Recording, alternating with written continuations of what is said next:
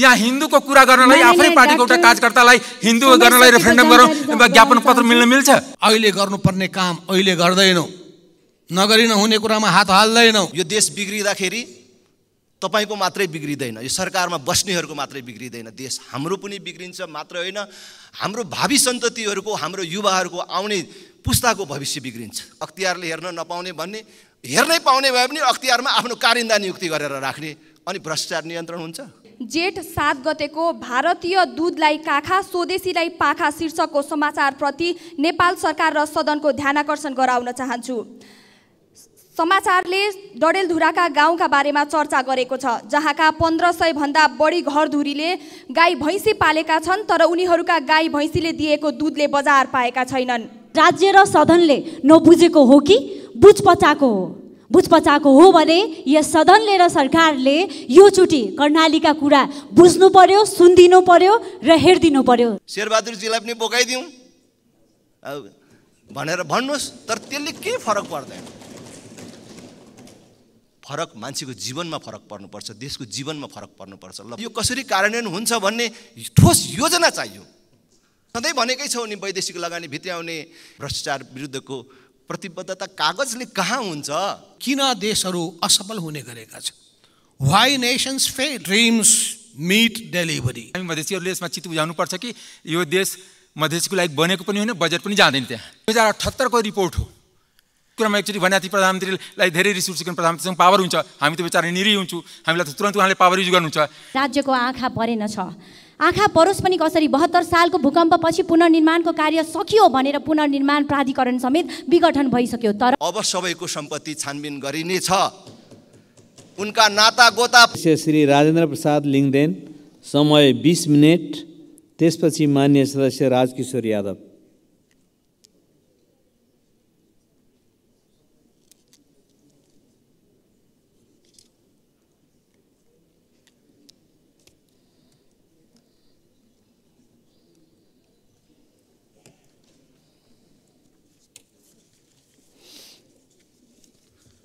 सम्माननीय सभामुख महोदय सम्माननीय राष्ट्रपतिबाट प्रस्तुत सरकारको नीति तथा कार्यक्रममाथिको यो छलफलमा समय उपलब्धताको लागि सभामुखलाई धन्यवाद व्यक्त गर्न चाहन्छु खास गरी सरकारको नीति तथा कार्यक्रम भनेको अब आगामी दिन सरकारले देशलाई कसरी अगाडि लैजाँदैछ? हामी कुन बाटोबाट जाँदैछौँ? र कहाँ जाँदैछौँ भन्ने कुराको मार्गचित्र हो। हामीले यो परम्परागत भयो पहिलेकै जस्तै भयो पहिलेकै कपी भयो यहाँ फरक कुरा छैन भनेर भन्यो भने सत्तापक्षीय साथीहरूको जवाफ आउँछ। पहिलेको जस्तै भएन भने पहिलेकै कुराको निरन्तरता दिएन भने सबै भत्कायो भने त कहाँ हुन्छ? हामीले तपाईँहरूले अथवा अरू खास गरी प्रमुख प्रतिपक्षकोलाई सत्तापक्षको साथीहरूले जवाफ दिँदाखेरि तपाईँहरूले सुरु गरेकै कुराहरू हामीले अगाडि बढाइराखेको छौँ। त्यो त झन् राम्रो भयो नि भनेर पनि यहाँ जवाफ दिएको सुने तर मैले यहाँ राख्नु खोजेको कुरा के हो भने अहिले देशको अवस्था सामान्य अवस्था होइन। अहिले देशले र दुनियाँले जुन आर्थिक सङ्कट बिहोरिराखेको छ त्यसलाई हाम्रो परम्परागत कार्यशैलीले परम्परागत सोच र संरचनाले त्यो आर्थिक सङ्कटलाई सामना गर्न सक्दैन। त्यस कारणले यो नीति तथा कार्यक्रममा आगामी सङ्कटलाई हामीले कसरी सामना गरेर हामी अगाडि बढ्छौँ भन्ने कुरा आउनु पर्दथ्यो। यो नीति तथा कार्यक्रम सामान्य अवस्थामा ठिकठाक अवस्थामा ल्याउने जस्तो छ। र धेरै कुराहरू मैले फेरि पनि भने प्रष्ट छैनन्। यसले समस्या पहिचान गर्न सकेको छैन। प्राथमिकता छुट्याउन खोजेको अथवा कोसिसै गरेको छैन। यसले प्राथमिकता के हो त हाम्रो आगामी प्राथमिकता? त्यसलाई चाहिँ प्रष्ट पार्न सकेको छैन। र छलफल गर्नुपर्ने प्रशस्त विषयहरू छन्। हामीले ल्यायौँ हामीसँग बहुमत छ। पास गर्छौँ ताली ठडाएर पास गर्छौँ।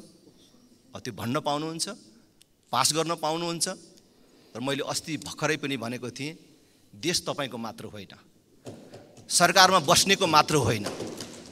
यो देश बिग्रिँदाखेरि तपाईँको मात्रै बिग्रिँदैन यो सरकारमा बस्नेहरूको मात्रै बिग्रिँदैन देश हाम्रो पनि बिग्रिन्छ मात्र होइन हाम्रो भावी सन्ततिहरूको हाम्रो युवाहरूको आउने पुस्ताको भविष्य बिग्रिन्छ उनीहरूको देश बिग्रिन्छ। त्यसकारण यो हामी सबैको साझा विषय हो। त्यस कारणले नमिलेको विषयहरू फेरि लेखेर ल्याउनु पर्दाखेरि अप्ठ्यारो मान्नु हुँदैन यसलाई पुनर्लेखन गर्न जरुरी छ। अहिलेको आर्थिक सङ्कटलाई अहिलेको समस्यालाई यो नीति तथा कार्यक्रमले सम्बोधन गर्न सक्दैन। तपाईँ जनयुद्ध लेख्नुहोस् के लेख्नुहोस् आत्मरतिमा रमाउनुहोस् लेख्यौँ हामीले त घुसायौँ शेरबहादुरजीलाई पनि बोकाइदिउँ भनेर भन्नुहोस् तर त्यसले केही फरक पर्दैन? फरक मान्छेको जीवनमा फरक पर्नुपर्छ देशको जीवनमा फरक पर्नुपर्छ। ल भन्नुहोस् त कुन त्यस्तो नयाँ चिज आयो? पहिलेकै निरन्तरता दिनको लागि त पहिले राम्रो भएको हुनु पर्यो अहिले हरेक साल जस्तै तपाईँले पनि फेरि केही पाना थपिदिनु भयो अघिल्लोचोटि पैँसठी पानाको पैँसठी पेजको रहेछ यता खालि अर्को पेजलाई पनि छैसठी थपिदिएर छैसठी पेजको है? अनि त्यो कति बुदाको थियो? एक सय पैँतालिस बुदाको थियो अहिले एक सय अठासी बुदाको। फरक त यति मात्रै छ। राजाको पालामा अथवा पञ्चायतको पालामा स्थापना भएका उद्योग धन्दाहरू जो काम छैनन् भनेर बेच्नुभयो बन्द गर्नुभयो गत वर्षदेखि तिनीहरूको जरुरत परेको महसुस हुन थालेको छ तिनीहरूलाई सञ्चालन गर्ने भनिएको छ। अहिले पनि त्यही कुरा भनिएको छ। कति पाइला बढ्यो त? हामी यसमा एक पाइला अगाडि बढ्यौँ त अघिल्लो साल। यो वर्षमा गएको वर्षमा? लेख्न त लेख्यौँ नि। हिजो गोर्खातिर गएको थिएँ। हाम्रो गोर्खाली रबर उद्योग खोल्ने भएछ। रायनजी यो नीति कार्यक्रमको विरोध नगरिदिनु है भनेर मानिसहरूमा कस्तो आशा छ? यो कुरा त हामीले गत वर्ष पनि भनेका थियौँ। तर हामीले भनेका कुराहरू कार्यान्वयन हुन सक्छन् कि सक्दैनन् भइराखेका छन् कि छैनन्? यो महत्त्वपूर्ण कुरा हो। र हामीले विगतको समीक्षा गऱ्यौँ कि गरेनौँ?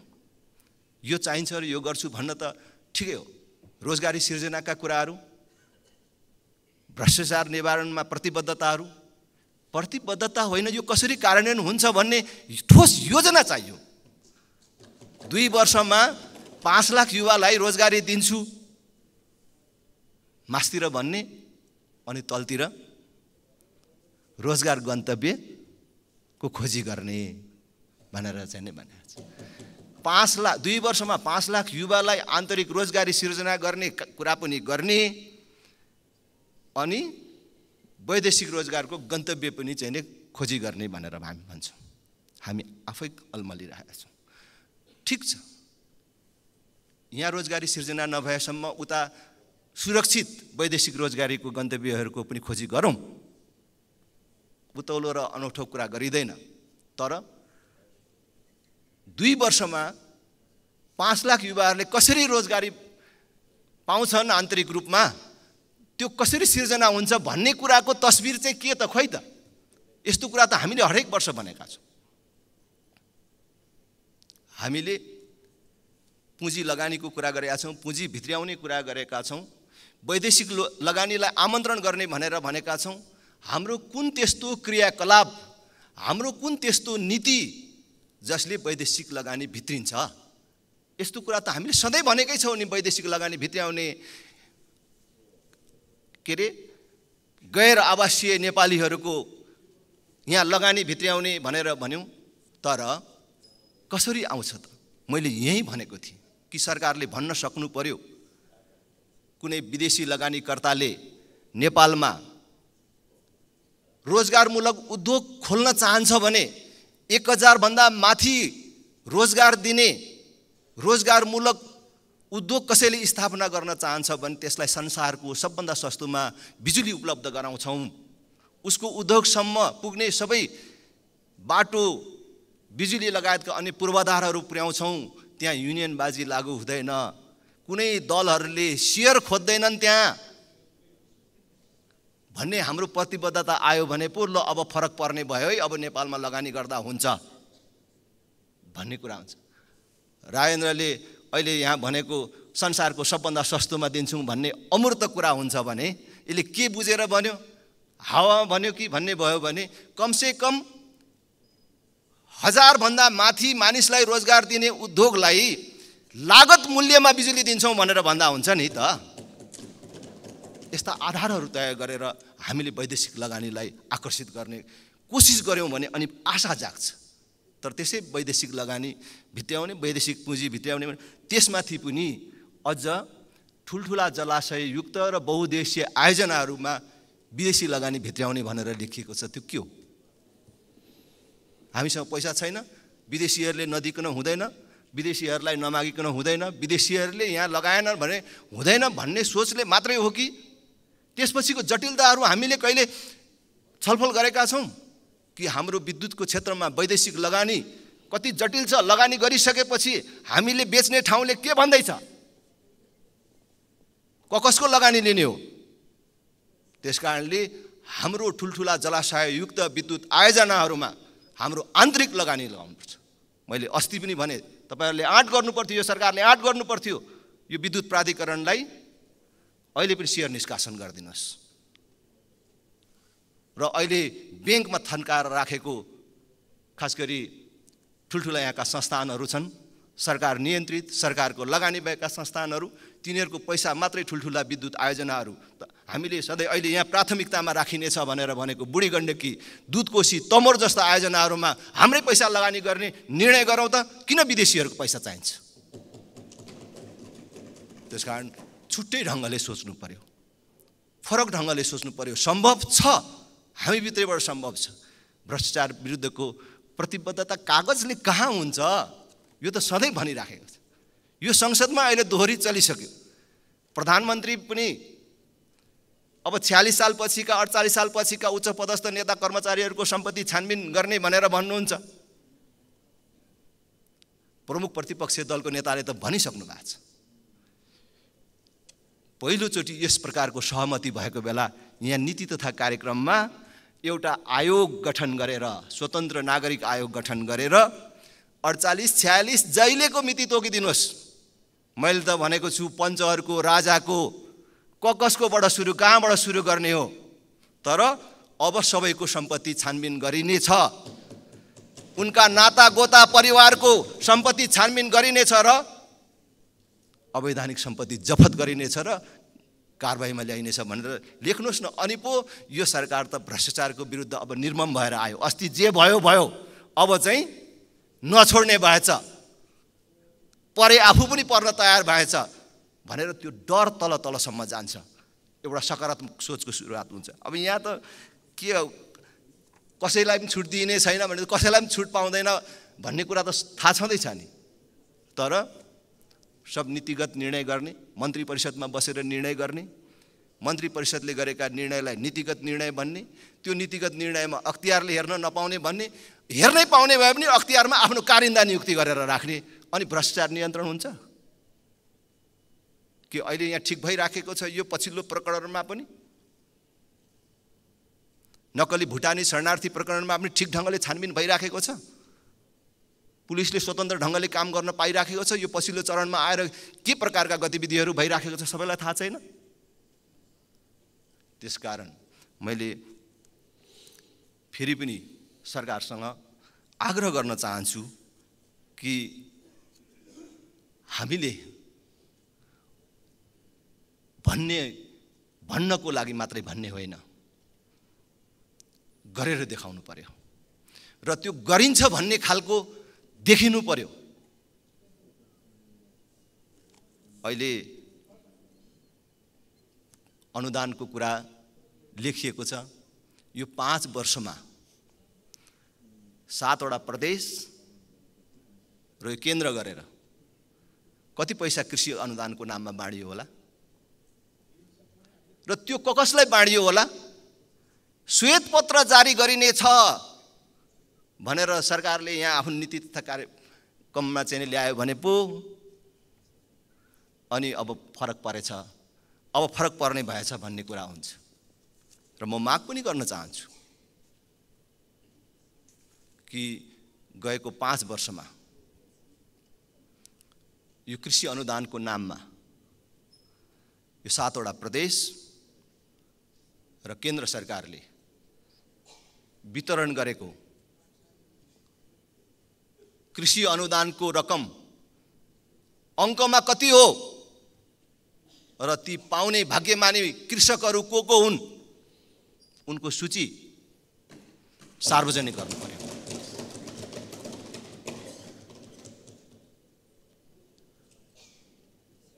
कृषि क्षेत्रमा हामीले अनुदानको नाममा कति वितरण गऱ्यौँ र त्यसको प्रतिफल कति प्राप्त भयो? तथ्याङ्कमा आउनु पर्यो। हामीले आँट गर्नु पर्यो। मैले निरन्तर रूपमा भन्दै आएको छु। हामीले साँच्ची सुधार गर्न चाहेको हो भने कि हामीले कुनै बेला कुनै बाटो ठिक हुन्छ भनेर हिँड्यौँ। यही बाटोले हामीलाई ठिक ठाउँमा पुर्याउँछ भन्ने हामी निष्कर्षमा पुग्यौँ र अगाडि बढ्यौँ। तर हिँड्दै जाँदाखेरि अगाडि बढ्ने क्रममा हामीलाई थाहा भयो बाटो गलत भयो भन्ने कुरा। बाटो गलत भयो भन्ने थाहा भएपछि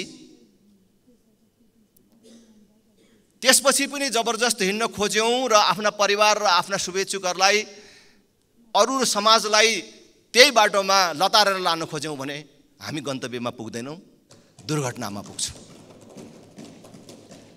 हामीले मैले पहिले भनेकै कुरा दोहोऱ्याउँछु कि सुविचारका साथ राम्रै सोचका साथ यो तिन तहको संरचनाको परिकल्पना गऱ्यौँ होला। तर आज आएर थाहा भयो नि यहाँ रोस्टममा आएर भन्न नसके पनि अन्तर्मनले हर मान्छेको भित्र बोल्छ नि यति सानो देशमा यति धेरै सङ्ख्याको जनप्रतिनिधिहरू वडा सदस्यदेखि राष्ट्रपतिसम्मलाई जनताबाट कर उठाएर जनतालाई ऋण बोकाएर तलब खुवाउनुपर्छ। कहिलेसम्म चल्छ? अनि हामीले राम्रै सोचका साथ गरेको थियौँ तर यो ठिक भएन छ। यो पुनर्संरचना गर्नु पर्यो। यो जनप्रतिनिधि सङ्ख्या घटाउनु पर्यो। यो एउटा तह हटाउनु पर्यो भन्दाखेरि कोही हारेको हुँदैन कोही जितेको हुँदैन। राजेन्द्र लिङ्गदेनले जितेको हुँदैन राप्रपाले जितेको हुँदैन यो। यो हामीले पहिले देखिदिएको थियौँ यो ठिक हुँदैन भनेर। हामीले भन्यौँ त्यति मात्रै हो। तर तपाईँहरूले त्यो कुरा मान्नुभयो भने देशले मान्यो भने राजेन्द्र लिङ्गदेनले राप्रपाले जितेको हुँदैन। यो हामी सबैको कुरा हुन्छ र साझा कुरा हुन्छ। हामीले यसलाई जबरजस्त घिसार्ने अगाडि लाने कुरा गऱ्यौँ भने अहिले के भइरहेको छ? त्यही भइरहेको छ र एक दिन देशको अर्थतन्त्रले घुँडा टेक्छ। कुन कुरा छ यो नीति कार्यक्रममा? जसले चाहिँ नि हामीले यो मितव्ययी बन्छौँ घटाउँछौँ यो घटाउँछौँ भने अर्थतन्त्र मजबुत बनाउने कुन कार्यक्रम छ यहाँ? कुन चिजले हाम्रो अर्थतन्त्र अब चाहिँ मजबुत हुने भयो भन्ने देखाउँछ। यो सङ्घीयता कार्यान्वयन भएको तिन तहको सरकार कार्यान्वयन भएको यो पाँच वर्षमा हाम्रो ऋण कति बढ्यो? त्योभन्दा अगाडि कति थियो? त्यो कुरा हामीले हेर्नु पर्यो। र कति साथीहरूको म यहाँ पनि सुन्दैछु विकासको कुरा पनि भन्दै हुन्छ विकासको कुरा पनि कुन तहको बढ्यो त्यसको विश्लेषण गरौँ समीक्षा गरौँ। कुन तहको भ्रष्टाचार भयो? भ्रष्टाचार कुन तहको मौलायो आज मैले कम्तीमा पनि यो नीति तथा कार्यक्रममा सार्वजनिक खरिद ऐनमा तोकेरै संशोधन गर्ने र अब यो सिन्डिकेट प्रथाको अन्त्य गर्ने कुराहरू आउँछ भन्ने सोचेको थिएँ।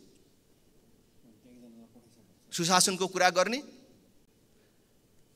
ऐन नियमावलीहरूमा संशोधन गर्ने यताको पनि यताको पनि पैसा बटुलेर एकमुष्ट बनाउने केही ठेकेदारले मात्रै ठेक्का लिन पाउने गरी ठेक्का निकाल्ने पेस्की दिन पुग्ने पैसा बन्दोबस्त गर्ने मिले मतोमा ठेक्का लिने कुनै एउटा निर्माण व्यवसायीले उसलाई पेस्की दिइहाल्ने कमिसन लिइहाल्ने। यो चिज कहाँबाट हट्छ? विकास आयोजनाहरू अलपत्र छन्। आठ वर्षदेखि एउटा झुलुङ्गी पुल सम्पन्न हुन सकेको छैन कति ठाउँमा। आठ वर्ष अगाडि सुरु भएको झोलुङ्गे पुल आठ वर्षपछि आएर पनि सम्पन्न हुन सकेको छैन। सबैतिर विकास आयोजनाहरू लथालिङ्ग अवस्थामा छ। यसलाई हामीले विकास भएको मान्यौँ भने भ्रम हुन्छ। हामीले खर्च गऱ्यौँ बाटोमा गऱ्यौँ पुलमा गऱ्यौँ भनेर आधा पुल बनाएर राखेर आधा कलबट बनाएर राखेर गऱ्यौँ भनेर भन्दाखेरि मान्छेले पत्याउँदैन। आज तपाईँले नीतिमा फरक गर्न सक्नु भएन भने तपाईँ हेर्नुहोस् बेलायत जस्तो देशले पूर्व गोर्खा सैनिकहरूलाई उतै बेलायत फर्काएर लाने नीति लियो। हाम्रो पूर्व गोर्खा सैनिकहरू जो पेन्सनर थिए उनीहरूले पाएको पेन्सनबाट हाम्रो आर्थिक गतिविधि चलायमान थियो। बेलायत जस्तो देशले त्यहाँ पनि आँखा लगाएर उनीहरूलाई उतै फर्कने व्यवस्था गर्यो मिलायो। र यहाँको घर जग्गा बेचेर पूर्व गोर्खा सैनिकहरू बेलायत गए। हामीले पनि एनआरएनको कुरा गर्दा गर्दाखेरि एनआरएनलाई नेपाल आउनको लागि के के सुविधाहरू दिन्छौँ? उनको लगानी उनको पुँजी कसरी सुरक्षित हुन्छ? र उनको भविष्य कसरी सुरक्षित हुन्छ? ल समस्या भयो। भन्ने हामीले हाम्रो नीतिमा ल्याउन सक्नु पर्यो त्यसै हामीले चाहिँ एनआरएनलाई बोलाउने विदेशी पुँजी ल्याउने भनेर मात्रै चाहिँ पर्याप्त हुँदैन भन्ने कुरा मलाई लाग्छ र जुन हामीले पर्यटनको कुरा गर्छौँ पर्यटनको कुरा गर्दाखेरि धार्मिक पर्यटनलाई चाहिँ हामीले बिर्सनु हुँदैन। अहिले दुनियाँमा पूर्वीय दर्शनको प्रति ठिक छ आकर्षण बढिराखेको छ। अध्ययन अनुसन्धान बढिराखेको छ। र मान्य सदस्य समय सकियो। सक्छु पूर्वीय दर्शनको उद्गम थलो नेपाल। यसको अध्ययन अनुसन्धानको केन्द्र बनाउनु पर्दछ। दक्षिणपट्टि त्यत्रो ठुलो सङ्ख्यामा हिन्दूहरू छन् उत्तरपट्टि त्यही सङ्ख्यामा बुद्धिस्टहरू छन्। हामीले यो हिन्दुत्व र बुद्धत्वको सरकारी तवरबाटै ठिक ढङ्गले प्रचार गर्न सक्यौँ भने हाम्रो पर्यटनको मूल आधार बन्न सक्छ र अर्थतन्त्र मजबुतीको मूल आधार बन्न सक्छ। त्यसकारण हामीले पर्यटनको कुरा गर्दाखेरि धार्मिक पर्यटनलाई बिर्सनु हुँदैन र यति सानो देशमा यति धेरै धर्म यति धेरै भाषा यति धेरै संस्कृतिका मानिसहरू कसरी मिलेर बसेका छन्? सहिष्णुता भन्ने के हो हेर्न आउनको लागि बुद्धिस्ट र हिन्दू धर्मका मानिसहरू मात्र होइन बुद्ध र हिन्दू धर्मका मानिसहरू मात्र होइन अन्यलाई पनि आउने थलो बनाउनु पर्दछ। यसतर्फ हामी सबैको ध्यान जाओस्। धेरै धेरै धन्यवाद। माननीय डाक्टर अमरेश कुमार सिंह समय पाँच मिनट। त्यसपछि माननीय श्री योगेन्द्र मण्डल।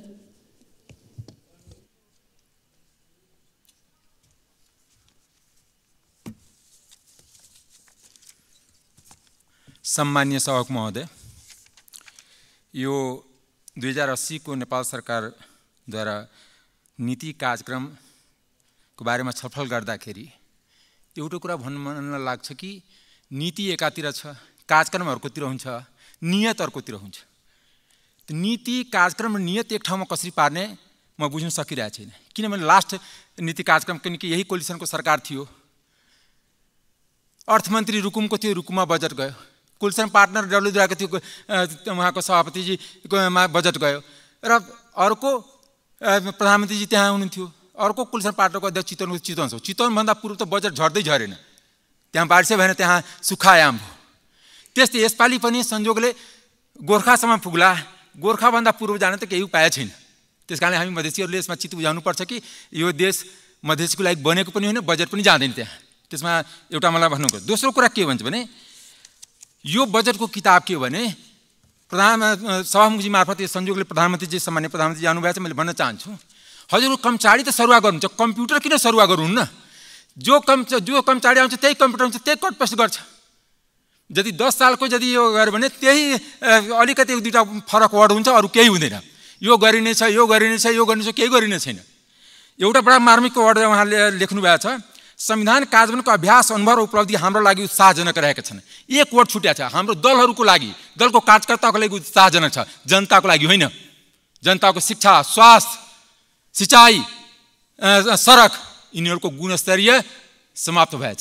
दलको लागि उत्साहजनक छ कि यहाँ पनि मन्त्री बनाएको छ प्रदेशमा पनि बनाएको छ मन्त्रालय पनि फुटाएको छ उता पिए बनाएको छ उता नभए अन्यश्री आयोगहरू बनाएर त्यसलाई ते तेल गाडी डिजल पिए तलब भत्ता दिइरहेको छ दलको लागि उत्साहजनक छ। यो संविधानको कार्यान्वयनको राम्रो पक्ष हो दोस्रो कुरा यो नेपाल सरकारको आफ्नै कन्ट्राडिक्टिभ पोलिसी हो। मेरो रिप रिपोर्ट होइन। पछिल्लो सरकार दुई हजार अठहत्तरको रिपोर्ट हो। रुग्न व्यवसाय रुग्न कल कारखानाको बारेमा रिपोर्ट हो। त्यो रिपोर्टको कन्ट्राडिक्सनमा यहाँ लेखिएको छ त्यो गरिने छ। अ, अ, अ, तिनवटा उद्योगको बारेमा भेटौडा कपडा कारखाना अथवा गोरखाकाली किन गोर्खामा भएको कारण प्रधानमन्त्री त केही न केही भन्नै पऱ्यो त्यहाँ। र त्यसको प्रधानमन्त्रीको पालामा बन्छ भन्ने मलाई विश्वास छैन। यही कुरामा एकचोटि भने थियो प्रधानमन्त्रीलाई धेरै रिस उठ्छ प्रधानमन्त्रीसँग पावर हुन्छ। हामी त बेचारा निरी हुन्छु। हामीलाई त तुरन्त उहाँले पावर युज गर्नुहुन्छ। अनि त्यस कारणले अहिले बुटबल धागो कारखाना यो बन्नेवाला छैन। किनकि उहाँको रिपोर्ट भन्छ मेरो रिपोर्ट होइन। नेपाल सरकारको रिपोर्ट हो। म प्रिन्ट गरेर मात्र ल्याएको हो। तेस्रो कुरा तपाईँलाई बताउँछु। उहाँहरूले दुईवटा विधेयक राष्ट्रिय सभाबाट पास भएर कहाँ भएको छ? इन्ट्रेस्ट किन कसरी इन्ट्रेस्टले नियत मैले भन्न खोजेको नियतको व्याख्या गर्दैछु। तैपनि दुनियाँमा रेगुलेटरी बडी र सर्भिस प्रोभाइडर एउटै हुँदैन। जस्तै हाम्रै यहाँ। वाणिज्य ब्याङ्क एनआरबी एउटै होइन। NRB Nepal last bank regulatory body हो वाणिज्य ब्याङ्क सर्भिस प्रोभाइडर हो। जसरी एनटिसी सर्भिस प्रोभाइडर हो एनटिए रेगुलेटरी बडी हो। त्यस्तै क्यान सिभिल एभिएसन अथोरिटी र सर्भिस प्रोभाइडर अहिले एउटै छन्। त्यही भएर त्यहाँ माल कमाइ भइरहेको हुन्छ। र आइकाको रिपोर्ट मेरो मसँग छ। आइकाको रिपोर्टमा के भनेको छ? किन युरोपमा बन्द भएको छ त्यसको कहिले सदनमा छलफल भएन। किन भएन? त्यसले भनेको छ कि जबसम्म सेपरेसन गरिँदैन रेगुलेटरी बडी र सर्भिस प्रोभाइडरको तबसम्म हाम्रो लागि नेपालको प्लेन हाम्रो आकाशको लागि सुरक्षित छैन। त्यो चाहिँ यहाँ रिपोर्ट म रिपोर्ट पढ्दैछु अङ्ग्रेजीमा छ। म त्यो त्यही पेजको मैले लिएर आएको छु हाइलाइट पनि गरेको छु। त्यसपछि मैले अर्को कुरा के हुन्छ भने एउटा बडा राम्रो कर्णप्रिय वर्डहरू हुन्छ अनि जनतालाई जाँदाखेरि जनताले त हामीलाई जुत्ता हान्छ। हरेक गाउँपालिका नगरपालिकामा एउटा कोल्ड स्टोर बनाउने। म सम्मानीय प्रधानमन्त्रीजीलाई सभा मार्फत आग्रह गर्न चाहन्छु एउटा कन्सोसियम एउटा बनाएर देखाउनु न। सुशील कोइरालाको गभर्मेन्ट थियो सत्तरीमा। सत्तरीमा गभर्मेन्टमा के थियो? ना नारायण खड्काजी सहरी विकास मन्त्री थियो। उहाँले के भन्नु? मध्य पहाडी राजमार्गमा दसवटा सहर बसाउने छ। दस वर्षमा एउटा सहर नबसाउने फेरि त्यही दसवटा सहर बनाउने यो कम्तीमा चोरी गर्दाखेरि जस्तै हामी पनि चिटिङ विद्यार्थी गर्छ भने एउटा तलमाथि गर्छ। या त एघारवटा बनाउने हुन्थ्यो या नौवटा बनाए हुन्थ्यो। सुशील कोडाको त्यो बेलाको नीति कार्यक्रम त्यही छ। ना नाउँ पनि भने सम्बन्धित यो कटपेस्टको राजनीतिले यो कहीँ पनि पुग्दैन। दोस्रो कुरा अब अहम सवाल छ सभामुखमा आग्रह गर्दैछु एक मिनट थपिदिउँ। समस्या यो देशमा बिचौलिया तन्त्र कसरी तोड्ने। बिचौलिया तन्त्र र परिवारवाद कसरी तोड्ने। अथोरिटी विदाउट एकाउन्टेबिलिटी साह्रै डेन्जर छ नेपालमा यो पन्ध्र वर्षको एक्सर्साइजमा अथोरिटी विदाउट एकाउन्टेबिलिटीले नेपालको चिरा चिरा भएछ दोस्रो कुरा संविधानप्रति प्रतिबद्धता छैन। मैले प्रधानमन्त्रीलाई ध्यान आकर्षण गराउन चाहेँ यहीँबाट रोस्टमबाटै उहाँ भारतको भिजिट जाँदै हुनुहुन्छ। त्यहाँ राइटिस्ट गभर्मेन्ट छ। त्यहाँ हिन्दूको कुरा गर्नलाई आफ्नै पार्टीको एउटा कार्यकर्तालाई हिन्दू गर्नलाई रेफरेन्डम गरौँ ज्ञापन पत्र मिल्न मिल्छ। जो प्रधानमन्त्री गणतन्त्र र संहिता र धर्मनिरपेक्षताको शपथ लिन खाएछ त्यो आफ्नै पार्टीको कार्यकर्ताबाट कि धर्मनिरपेक्षताको बारेमा जन्म सङ्ग्रह गर्नको लागि ज्ञापन पत्र मिल्छ? यो अप्टिक्स मात्र।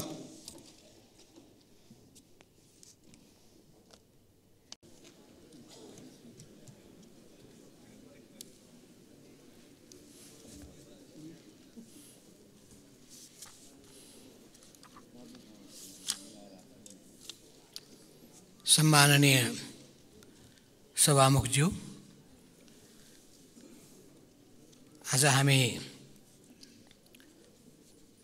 सम्माननीय राष्ट्रपतिज्यूबाट यस सदन समक्ष गर्नुभएको सम्बोधन नेपाल सरकारको नीति र कार्यक्रमको सन्दर्भमा छलफल गर्न उपस्थित भएका छौँ र छलफलको क्रममा विभिन्न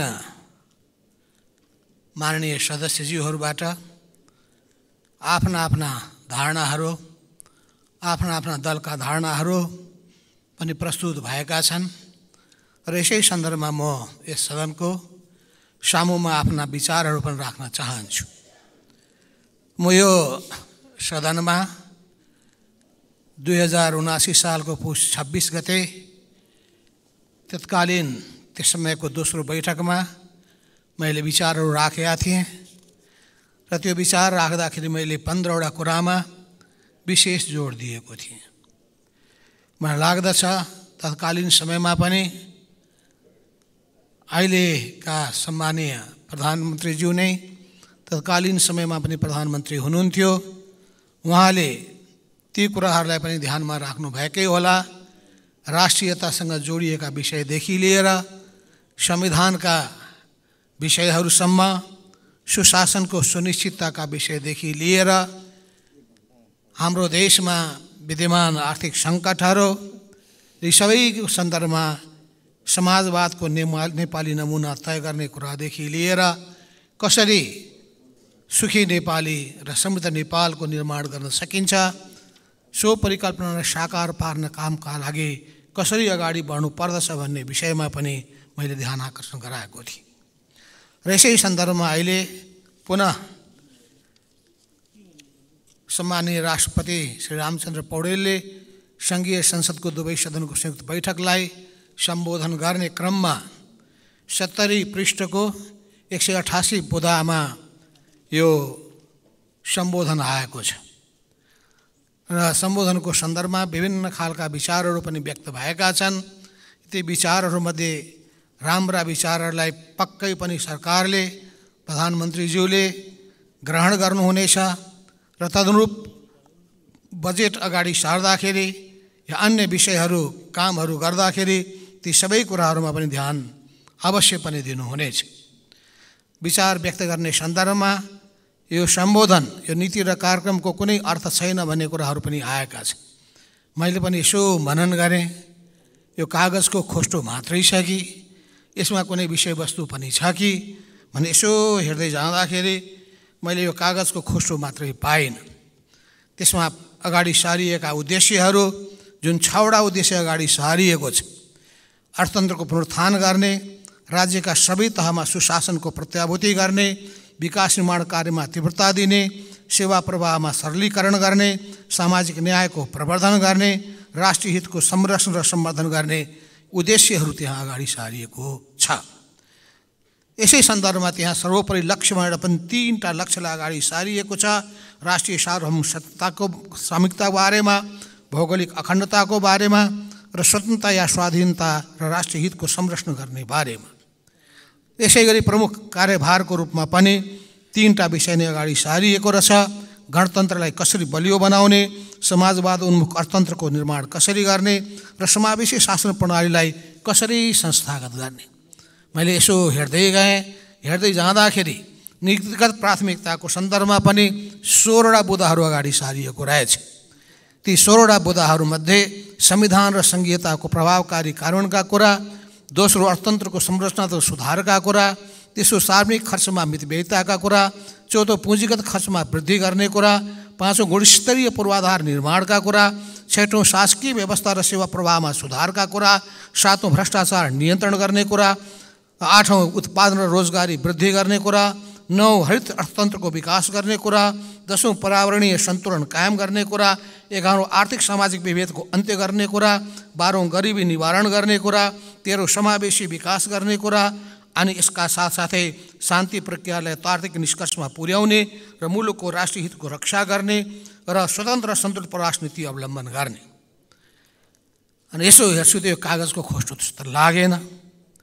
त्यसो हुनाले यसमा अवश्य पनि कुनै पनि दस्तावेज आफैमा पनि पूर्ण हुँदैन।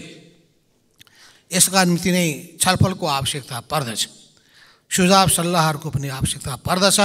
यस सन्दर्भमा यो जुन सम्बोधन आएको छ त्यो पोजिटिभ छ सकारात्मक छ देशको समस्यालाई पहिचान गरेको छ र समाधानको निम्ति आफ्नो तर्फबाट प्रयत्न पनि अगाडि बढाएको छ।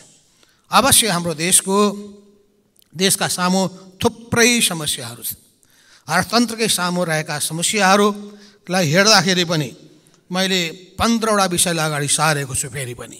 एउटा न्यून आर्थिक वृद्धिको समस्या छ उच्च मुद्रास्फीतिको समस्या छ तेस्रो मूल्य वृद्धिको समस्या छ चौथो जनशक्ति पलायनको समस्या छ पाँचौँ लगानी न्यून हुने स्थिति छ छैटौँ न्यून पुँजीगत खर्चको अवस्था छ सातौँ तरलताको सङ्कुचन छ आठौँ घट्दो राजस्व परिचालन छ नौ उच्च ब्याज दरले गर्दाखेरि पीडित हुने समस्या छ दसौँ बाह्य क्षेत्रको सन्तुलनमा चापको समस्या छ एघारौँ भुक्तानी श्रृङ्खला टुटिरहेको अवस्था छ बाह्रौँ भनेको हाम्रो जमिनहरू बाँझो हुँदै हुँदै गइरहेको छ र त्यसपछि खाद्य अवस्था सङ्कटको नजिक पुगेको छ।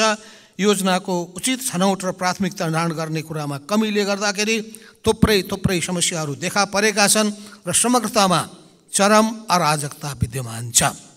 यो अराजकता भ्रष्टाचार यी सबै कुराहरू अर्थात् इमान्दारिता र कर्तव्यनिष्ठाको र मेहनत गर्ने प्रवृत्तिको कमी।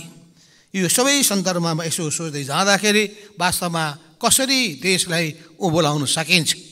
यो देशलाई कसरी रूपान्तरण गर्न सकिन्छ? यो चुनौती हाम्रो सामुमा छ।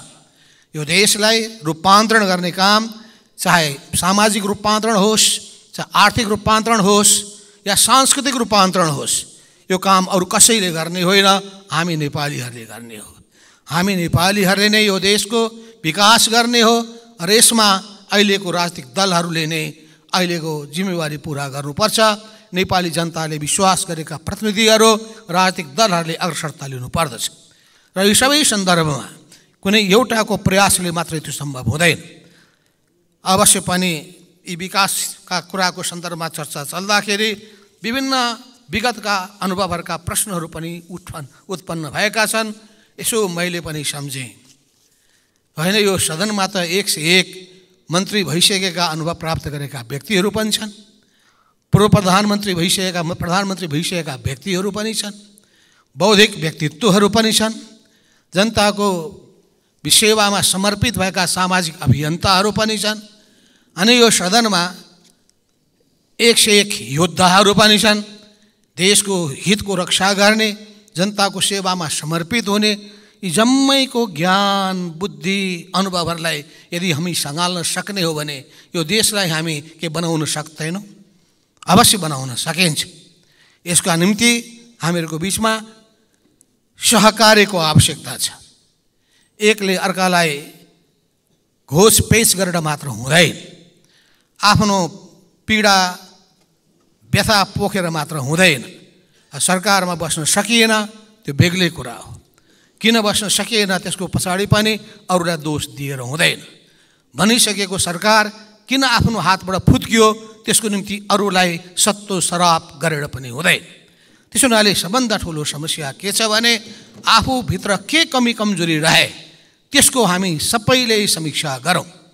कमी कमजोरी भएका छन् भने ती कमी कमजोरीको पहिचान गरौँ त्यसलाई सुधार गरौँ। जस्तै अहिले समस्या म देखिरहेको छु। हामी कहाँ सबभन्दा ठुलो समस्या यो व्यक्तिवादको रोग हो। व्यक्तिवादको रोग हो र दोस्रो भनेको आफूलाई सबै सर्वज्ञानी ठान्ने प्रवृत्ति हो। अनि त्यसपछि तेस्रो अरूलाई अवमूल्यन गर्ने प्रवृत्ति हो। अरूको ज्ञान अरूको बुद्धि र सबैको साथ यो लिने भन्दा पनि अनि आफ्नो पाराले चल्ने प्रवृत्ति पनि हो। यसबाट मुक्त हुन सकिएन भने यो व्यक्तिवादको रोगबाट मुक्त हुन सकिएन भने अनि भ्रष्टाचारमा चुर्लुममा डुब्ने प्रवृत्ति मुक्त भइएन भने कुरा एउटा काम अर्को हाम्रो के छ भने कुरामा ठुल्ठुला उपदेशहरू छाँट्ने प्रवृत्ति ज्यादा छ। तर व्यवहारमा लागू गर्ने प्रवृत्ति कम छ। साँचो अर्थमा हामीमा इमान्दारिता छ भने कुनै पनि समस्याको समाधान गर्न सकिन्छ। एउटा भनाइ छ where there is will there is way अर्को भनाइ छ nothing is impossible in the world if you dare to fight कुनै पनि चिज असम्भव छैन। यदि तपाईँमा लागिरहने लगनशीलता छ भने जुझ्ने साहस छ भने प्राप्त गर्न सक्छु भने विश्वास छ भने तपाईँ असम्भवलाई पनि सम्भव बनाउन सक्नुहुन्छ।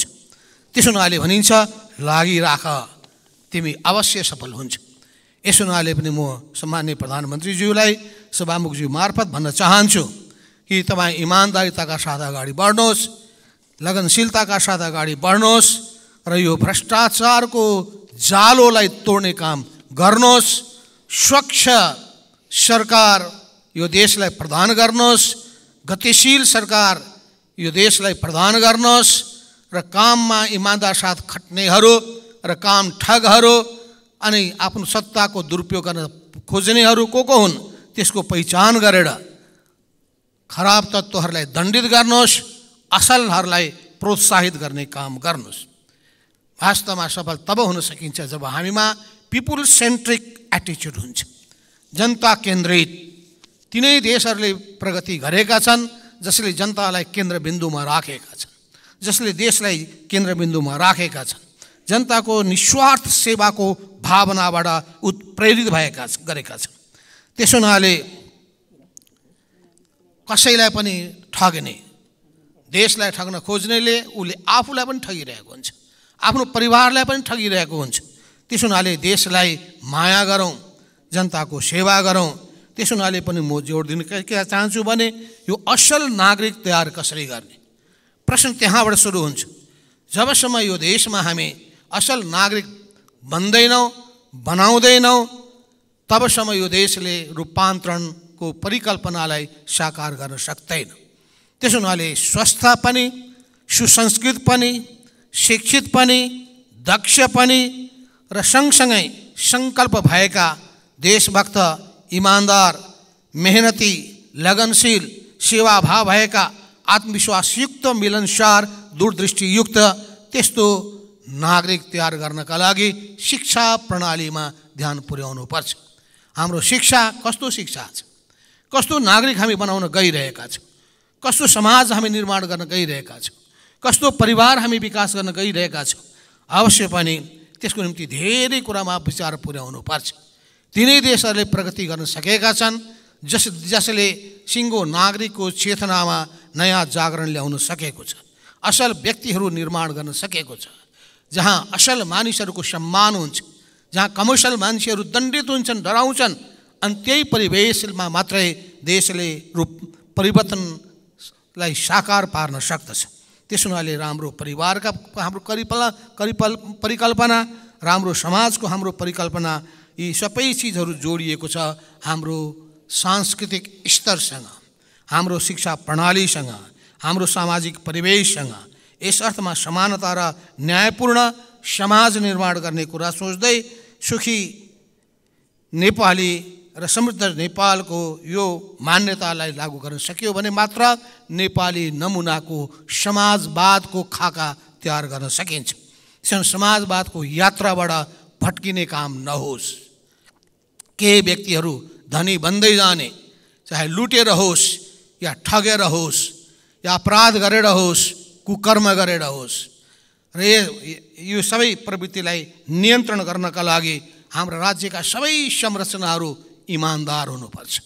राज्यका सबै संरचनाहरूले आफ्नो आफ्नो ठाउँमा बसेर राम्रो ढङ्गले काम गर्न सके भने अवश्य पनि यो समाजमा हाम्रो संस्कृतिमा र त्यसपछि हाम्रो अर्थतन्त्रमा रूपान्तरण गर्न सकिन्छ। एउटा मैले पुस्तक पढेको थिएँ।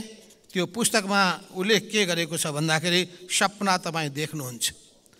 तर सपना हावादारी सपना नदेख्नुहोस् यथार्थवादी भन्नुहोस् तर सपना देख्दै नदेख्ने मान्छे त्यत्तिकै हिँड्ने मान्छे आधो मान्छेले लक्ष्य तय नभएको मान्छेले आफ्नो मिसन बुझ्न सक्दैन र मिसन तय नभएको मान्छेले त्यो मिसन पुरा पनि गर्न सक्दैन। त्यस हुनाले सपना पक्कै हेर्नु पर्दछ तर त्यो सपनालाई विपनामा रूपान्तरण गर्नका लागि यथार्थवादी भएर पनि चल्नुपर्छ। हाम्रो देशको विकासका समस्याहरू के के छ ती समस्याहरूको पहिचान गर्नुपर्ने आवश्यकता छ। अहिलेको बजेटमा आएका छन् थुप्रै कुराहरू ल्याउने सिकाउने टिकाउने तर यो भोलि लागु हुन्छ कि हुँदैन? नेपालका सबै बालबालिकालाई स्कुलमा पुर्याउने लक्ष्यहरू हामीले तय गरेका छौँ तर ती लागु हुन्छन् कि हुँदैनन्? यस क्रममा पुराना प्रधानमन्त्रीहरूले पनि राम्रै काम गर्नुभएको होला। एकचोटि राम्रो के हुन्थ्यो भने संसदैमा प्रधानमन्त्रीहरूको बिचमा नै प्रतिस्पर्धा गराउनु छ भने आफ्नो आफ्नो कार्यकालमा क कसैले के गरे सब ल्याएर सबको चाहिँ यो मूल्याङ्कन यही संसदले गरिदिए पनि हुन्छ। म त तयार छु। मैले ए ल्याएको पनि छु थोरै पानाहरू। मोटै ल्याउन खोजिरहेको थिएँ मैले। अवश्य पनि होला कि आफूले गरेको समयका केही राम्रा कुरालाई पनि वास्ता गरिएन। कति मनमा पीडा पर्दो रहेछ। म पनि प्रधानमन्त्री भइसकेको मान्छे। मलाई पनि त लाग्छ होला नि। गरिएका कतिपय कामहरूको किन चर्चा गर्दैन? पर्यो होला त्यस्तै तर नगरेको या गलत गरेको कुराको आलोचना पनि सहन सक्नुपर्छ आलोचनाको निम्ति पनि तयार हुनुपर्छ हाम्रो पालामा कतिपय हावादारी योजनाहरू आए। भनियो तिथिमिति तय गरेर यो मितिमा टिकट काट्नुहोस्। ठ्याक्क हवाई रेल चढ्नु त्यो बिजुलीको रेल चढ्नु हुनेछ। यस्ता कुराहरू यस्ता हावादारी कुरा ल्याउनु हुँदैन। अनि घर घरमा चाहिँ ग्यास खोइ ग्यास। त्यस हुनाले यस्तोमा कहाँ कहाँ त्रुटि भयो? टावरका कुराहरू आइरहेका छन् अनि मलेसियाका टावर त्यसपछि खाडी क्षेत्रका टावर। टावरको आवश्यकता छ भने कहाँ? धानको बाला हेर्ने टावर? के हेर्ने टावर? कुन टावरमा मान्छेको ओहिरो लाग्छ? कुन ठाउँमा चाहिँ गर्नु पर्दछ त्यो सबैको निम्ति प्राथमिकीकरण तय गर्न सक्नु पर्यो। हामी कहाँ? जथाभावी परियोजनाहरू जथाभावी कामहरू हुने गरेका छ कुन ठाउँमा आवश्यकता छ अहिले? अहिले आवश्यकता छ। म सम्झिरहेको छु म चिनको एकचोटि भ्रमणमा जाँदाखेरि एउटा सहर देखाउन लिएर गएका थिए। र सहर देखाउँदाखेरि उनीहरूले एउटा योजना उनीहरूले पचास वर्षको योजना त्यही ठाउँमा एउटा उनीहरूले अगाडि सारेका थिए। त्यसमा भन्थे आउने पाँच वर्षमा गर्ने काम यति यति यति हो। त्यसपछि पाँच वर्षमा गर्ने काम यति यति हो। यो पाठलाई हामी पाँच वर्षमा यसमा हामी खेतीपाती र नयाँ नयाँ घरहरू हामी यहाँ गर्छौँ। यो पाँच वर्षमा हामी उद्योग धन्दा कल कारखाना यो एरियामा विकास गर्छौँ। अहिले हामी बिस वर्षपछि गर्नेलाई खाली छोडिदिएका छौँ। बाँकीको निम्ति हामीले क्रमशः निर्माणको काममा बढिरहेका छौँ। हामी कहाँ त्यस्तो छैन। अहिले गर्नुपर्ने काम अहिले गर्दैनौँ। नगरी नहुने कुरामा हात हाल्दैनौँ। जस्तो विमानस्थलको कुरा गर्ने हो भने हाम्रो देशमा पर्यटन प्रवर्धन गर्ने हो भने अनि हाम्रो आकाश जुनमा जुन हिसाबले वायुयानहरू आउँदाखेरि समस्या खडा हुने गरेको छ अनि यो पर्वतीय पर्वतीय यो देश भएको हुनाले त्यसले अर्को किसिमको दुर्घटनाको खतरा निम्ति आएको छ। यी सबै सन्दर्भमा त्रिभुवन विमानस्थलको विकल्पको विमानस्थल निजगढ हो भन्ने कुरामा हाम्रो ध्यान किन जाँदैन?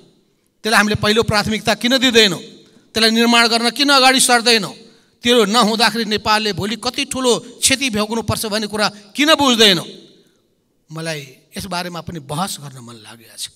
किन मैले सुने कि वास्तवमा त्यो निजगढ विमानस्थलको अब आवश्यकता छैन।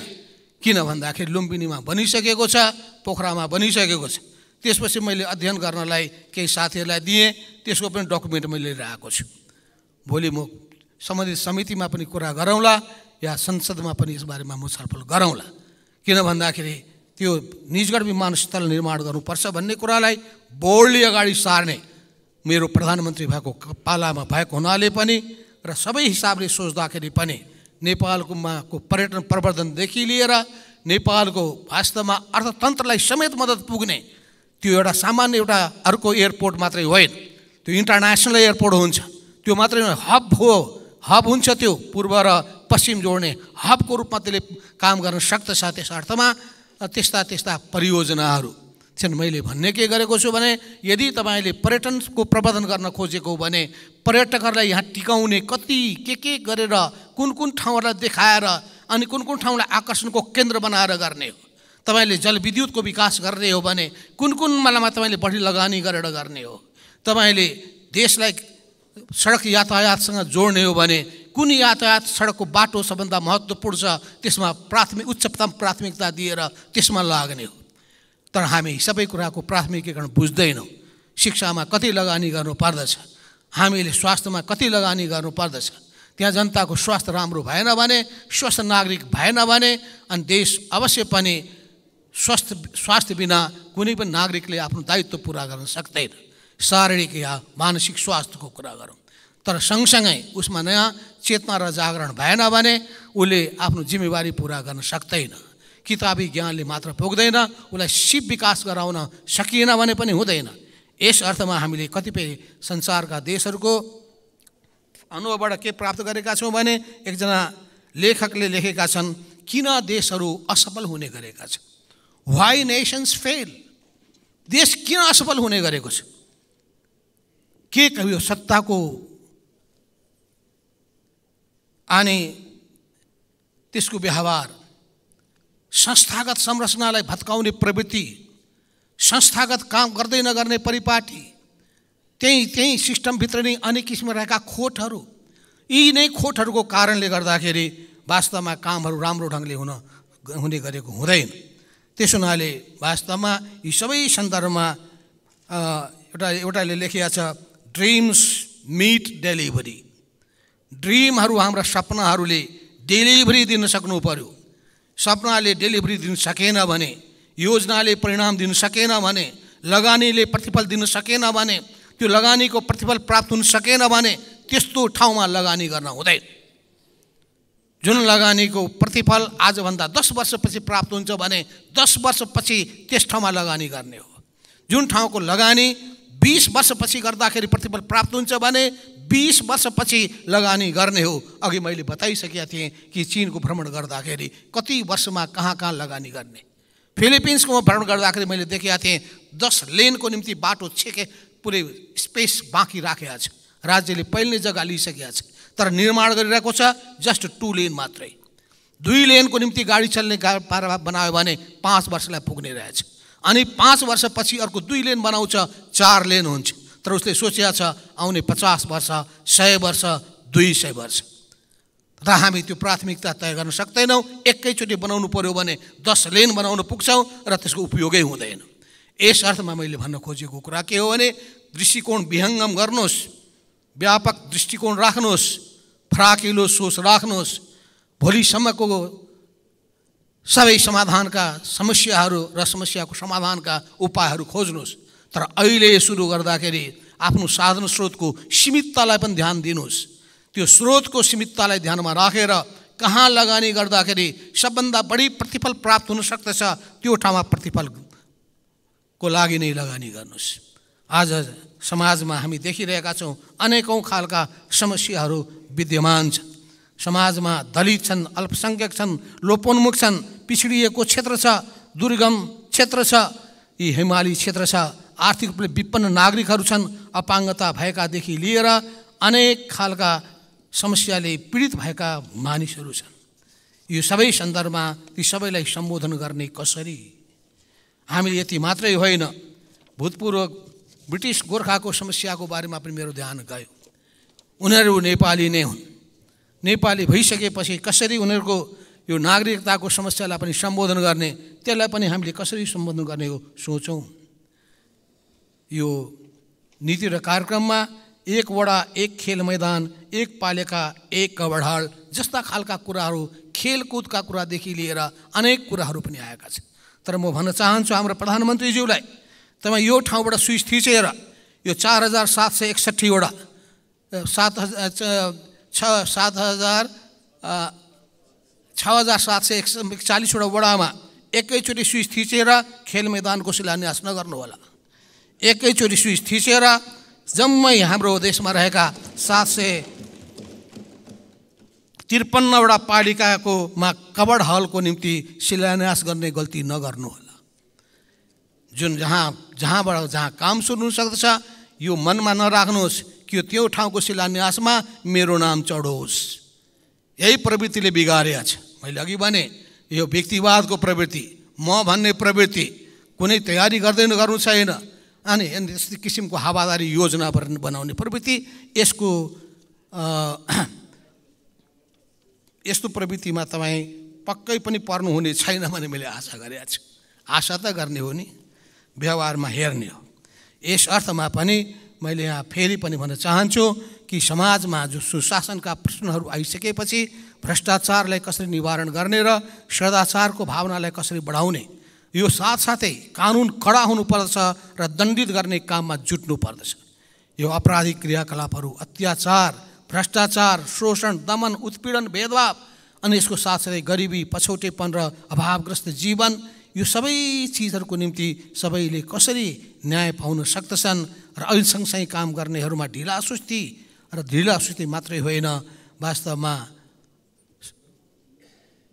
अत्यन्तै ठुलो राज्य कोषको दुरुपयोग गर्ने प्रवृत्तिहरू। यो सबै कुराहरूको सन्दर्भमा सरकारको पहिलो फोकस त सुशासनमै जानुपर्छ। सुशासन कायम भएन भने अनि सोच राम्रो भएन भने अनि ठोस योजनाहरू बन्न सकेनन् भने योजना मात्रै बनाएर हुँदो रहेछ त्यो कार्यान्वयन भइरहेको छ कि छैन भनेर राम्ररी अनुगमन गरिएन भने अनि अनुगमन गर्दाखेरि त्यहाँ ठिक भयो बेठिक भयो भनेर मूल्याङ्कन गरिएन भने राम्रो गर्नेलाई प्रोत्साहन र नराम्रो गर्नेलाई दण्डित गर्ने काम गरिएन भने त्यसपछि तपाईँ मुलुकलाई ठिक बाटोमा लान सक्नुहुन्न। यस अर्थमा यी सबै कुरामा पक्कै पनि सरकारको प्रधानमन्त्रीको ध्यान जानेछ हाम्रो काम गर्ने तरिकामा या हाम्रो सोच्ने तरिकामा कहाँ कहाँ सुधार गर्नुपर्छ त्यसमा पनि ध्यान पुर्याउनै पर्छ। अवश्य पनि यो विज्ञान प्रविधिको खोज र अनुसन्धानको अन्वेषणको सन्दर्भमा नवप्रवर्तनमा आधारित उद्यम व्यवसायको सन्दर्भमा पनि सरकारले सोच बनाइरहेको कुरा सुन्दाखेरि मलाई खुसी नै लागेको छ। र यस सन्दर्भमा हाम्रो महावीर पुन्जीले वीरगन्जको कृषि औजार कारखानालाई फेरि सञ्चालन गर्नका लागि पहल गर्नुभएको कुरा मैले सुने। मलाई त्यहाँ हेर्न जानका लागि साथीहरूले भन्दै थिए कि हेर्नुहोस् काम नलाग्ने मेसिन उहाँले हटाउनु भएको छ र जुन मेसिनलाई काममा लगाउन सकिन्छ र नयाँ नयाँ मेसिन ल्याउन सकिन्छ त्यो गरेर हाम्रो कृषि औजार नेपालमै नै उत्पादन गर्न सकिन्छ त्यसमा लाग्नु भएको छ। त्यस्तो काम सबैले गरिदिए कति राम्रो हुन्थ्यो। वास्तवमा उहाँलाई म धन्यवाद दिन चाहन्छु र सरकारलाई पनि धन्यवाद दिन चाहन्छु कि राम्रो काम गर्नेहरू नवप्रवर्तन गर्न चाहनेहरू अध्ययन अनुसन्धान आविष्कार विज्ञानको आज मेहनतको मेहनतपूर्वक काममा लाग्नेहरूलाई प्रोत्साहन दिने ढङ्गले जुन हिसाबले सरकारले पहल गरिरहेको छ त्यो राम्रो हो। अवश्य पनि अहिले हाम्रो मुलुकमा यो विकास निर्माणको कामहरू चित्त बुझ्दो छैन। तपाईँ हेर्नुहोस् जहाँसुकै पनि तपाईँ हेर्नुहुन्छ बाटो बन्ने कुरा क्वालिटीको बाटो छैन। बाटो बन्ने कुरा समयमा बाटो सुरु गरिँदैन। समयमा बनाउनु पर्ने पुल बनाइँदैन। लाज मर्दो के छ भने इस्ट वेस्ट हाइवे। यो त सबैभन्दा महत्त्वपूर्ण कुरा हो। लाइफ लाइन हो देशको। त्यो ठाउँको हाइवेमा तपाईँले खाल्दै खाल्डो पाउनुहुन्छ। त्यो हाइवेमा तपाईँ पुलमा अनेक किसिमको चाहिँ समस्याहरू मात्रै होइन पुल हल्लिरहेको पाउनुहुन्छ। अनि पुल तपाईँले भत्काउनुहुन्छ अनि त्यसपछि खोलाबाट बल्ल गाडी जान्छन् अनि बर्सातको बेलामा यातायात अवरुद्ध हुन्छ। त यो देशमा सरकार छ भने यो कति वर्षसम्म पुल टिक्न सक्दछ कति वर्षपछि पुल बनाउनु पर्ने आवश्यकता छ यो सबै सोच्नुपर्ने आवश्यकता छैन? भन्नलाई हामीले कन्सल्टेन्टहरू राख्ने कुरा भन्छौँ। भन्नलाई हामी एक सय एक अनुभवी मान्छेहरूलाई चाहिँ काममा लगाउनुपर्छ भनेर भन्छौँ तर पनि यो किन हुन सकिरहेको छैन? यस अर्थमा सम्बन्धित सबै पक्षहरूले सबै जिम्मेवार निकायहरूले यसमा ध्यान पुर्याउनु पर्ने आवश्यकता छ। अवश्य पनि हामीले राम्ररी ध्यान पुर्याउन सक्ने हो भने धेरै कुराहरू गर्न सकिन्छ। कुराहरू धेरै होलान्। त ती सबै धेरै कुराहरूको म एक एक विवरण बताउन मैले आवश्यक ठानेको छैन तर मुख्यतः कसरी गरिबीलाई यो कसरी हाम्रो नेपाली युवाहरूलाई विदेश पलायनबाट रोक्ने भन्ने कुरालाई ध्यानमा राखियोस्। अब हाम्रो विडम्बना के छ भने त्यही विषय पढ्नको लागि विदेशमा जान्छ तर हाम्रो देशको इन्स्टिच्युटहरूले मौका दिँदैन। मेडिकल साइन्स पढ्न चाहन्छन् डक्टर बन्न चाहन्छन् तर यहाँ डक्टर पढ्नेहरूले डक्टर पढ्न पाउँदैनन् विदेशमा जान्छन् त्यहाँ पढ्छन् अनि यहाँ पढ्नका लागि उनीहरू कलेजमा भर्ना हुन चाहन्छन् तर त्यसको कोटा सीमित गरिदिएको छ भएको कलेज पनि नचलेर बन्द हुने अवस्थामा पुग्छ। भनेपछि यो अनेक किसिमका चाहिँ अवरोधहरू जुन आइरहेको छ यसभित्र पनि अनेकौँ सेटिङहरू अनेकौँ करप्सनका कुराहरूले या अनुचित कुराहरूले प्रभाव पारिरहेको देखिन्छ। त्यसो हुनाले यी सबै चिजहरूको सन्दर्भमा खास गरिकन हाम्रो सरकारले नै ध्यान पुर्याउनु पर्ने आवश्यकता पर्छ। अब कुराहरू धेरै होलान्। म सबै कुराहरूमा जान चाहन्न। तर हाम्रो देशको जुन लिम्पियाधुरा लिपुले कालापानी नेपालको नक्साको सन्दर्भमा कुराहरू आएको छ त्यो अवश्य पनि यो उल्लेख हुनु पनि पर्दछ। प्रधानमन्त्रीको भारत भ्रमणको सन्दर्भमा यसलाई उठाउनु पर्ने पनि आवश्यकता छ। अवश्य पनि हामी सबै छिमेकी देशहरूदेखि लिएर अरू देशसितको सम्बन्धलाई सुमधुर बनाउन चाहन्छौँ। हामी सबैसँग हामी हाम्रो देशको हित र सम्मानको कुरा गर्न चाहन्छु। हाम्रो देशलाई स्वाभिमानी देशको रूपमा परिचित गराउन चाहन्छु। तर त्यसको निम्ति सबैको सहयोग पनि हामी चाहन्छौँ। तर हाम्रो देशमा आफैले उत्पादन कसरी बढाउने र उत्पादन बढाउन सकिएन भने रोजगारी सृजना गर्न सकिँदैन। उत्पादन बढाउन सकेनौँ भने ती उत् हामी आत्मनिर्भरतामा जान पनि सक्दैनौँ। उत्पादन बढाउने कुरा सोचेनौँ भने उत्पादकत्वमा वृद्धि हुन सक्दैन। उत्पादनसँग जोडिएनौँ भने क्वालिटीको कामहरू पनि उत्पादनहरू दिन सक्दैनौँ। यस अर्थमा हाम्रो जुन आयात आश्रित अर्थतन्त्र छ त्यसलाई निस निर्यातमुखी अर्थतन्त्रको रूपमा कसरी रूपान्तरण गर्ने भन्ने कुरामा विशेष जोड दिनुपर्छ। अवश्य पनि हाम्रो उत्पादन हाम्रो उपभोग।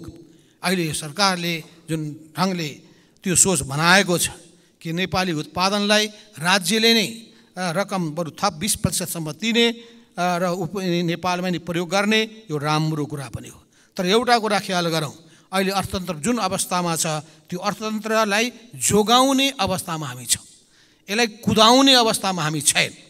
जब दौडाउने अवस्थामा हामी छैनौँ त्यस हुनाले जब जोगाउनु पर्ने अवस्थामा हामी कुदाउनु पर्ने कुरा गरिसकेपछि हामी त्यहाँ फेरि मिस्टेक गर्न पुग्छौँ। त्यस हुनाले अर्थतन्त्रलाई कसरी अहिलेको सङ्कटमा हामीले को बेलामा जोगाउने हो विश्व अर्थतन्त्र नै ठुलो सङ्कटको अवस्थामा छ। अवश्य पनि हामीले हाम्रो संविधानमा व्यवस्था भएको तिन खम्बे अर्थतन्त्रको यो मान्यतालाई ध्यानमा राखेर निजी क्षेत्र मात्र भनेर पुग्दैन।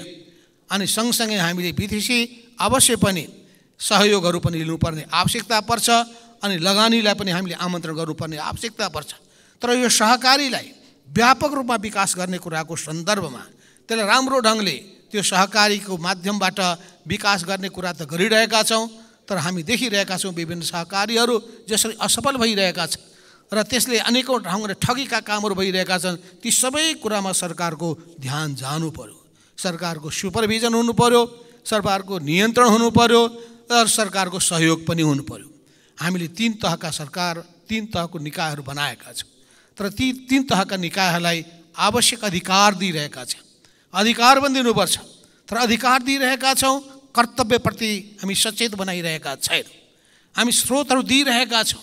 स्रोतको सदुपयोग दुरुपयोग भइरहेको छ कि छैन भन्ने बारेमा चासो राखिरहेका छैनौँ अनुगमन गरिरहेका छैनौँ र दुरुपयोग गर्नेहरूलाई दण्डित पनि गरिरहेका छैनौँ। त्यसो हुनाले स्थानीय तहमा पठाइएका रकमहरू आवश्यक रकमहरू पुगे पुगेनन्। पुर्याउनु पर्ने व्यवस्था गरियो कि गरिएन यो एउटा पक्ष छ भने त्यसको सदुपयोग भइरहेको छ कि छैन यो अर्को महत्त्वपूर्ण पक्ष छ। नभए रकमको हामी वितरण त गर्नेछौँ त्यो भ्रष्टाचारको वितरण मात्रै हुनेछ। त्यो रकमको वितरण विकासको निम्ति हुन सकोस् जनताको निम्ति हुन सकोस्। यस अर्थमा हामी कसरी उत्पादनशील र इमान्दार अब नागरिकहरू तयार गर्ने सन्दर्भमा सबैले आफ्नो आफ्नो तहबाट राम्ररी जिम्मेवारी पुरा गर्न सकुन्। यस कुरामा मैले फेरि पनि जोड दिँदै यहाँ अहिले धेरै कुराहरू यहाँ ल्याउन खोजिएको छ। अपाङ्ग ग्रामदेखि लिएर ज्येष्ठ नागरिक आवास गृह सेवादेखि लिएर सडक मानवमुक्त समाजका कुरादेखि लिएर यी अनेक कुराहरू सरकारले ल्याएको छ। त्यस हुनाले ल्याएको छैन भने नभनौँ ल्याएको छ। यो यो चिजहरू ल्याइदिए राम्रो हुन्थ्यो भन्ने कुरा बरु भनौँ। यस अर्थमा यो जुन सम नीति र कार्यक्रम अगाडि आएको छ त्यो अहिलेको समस्यालाई यसले सम्बोधन गर्नका लागि अवश्य पनि सहयोगी हुनेछ भन्ने कुरा समेत राखेर म आफ्नो मन्तव्य यहीँ टुङ्ग्याउँछु। हस्त धन्यवाद।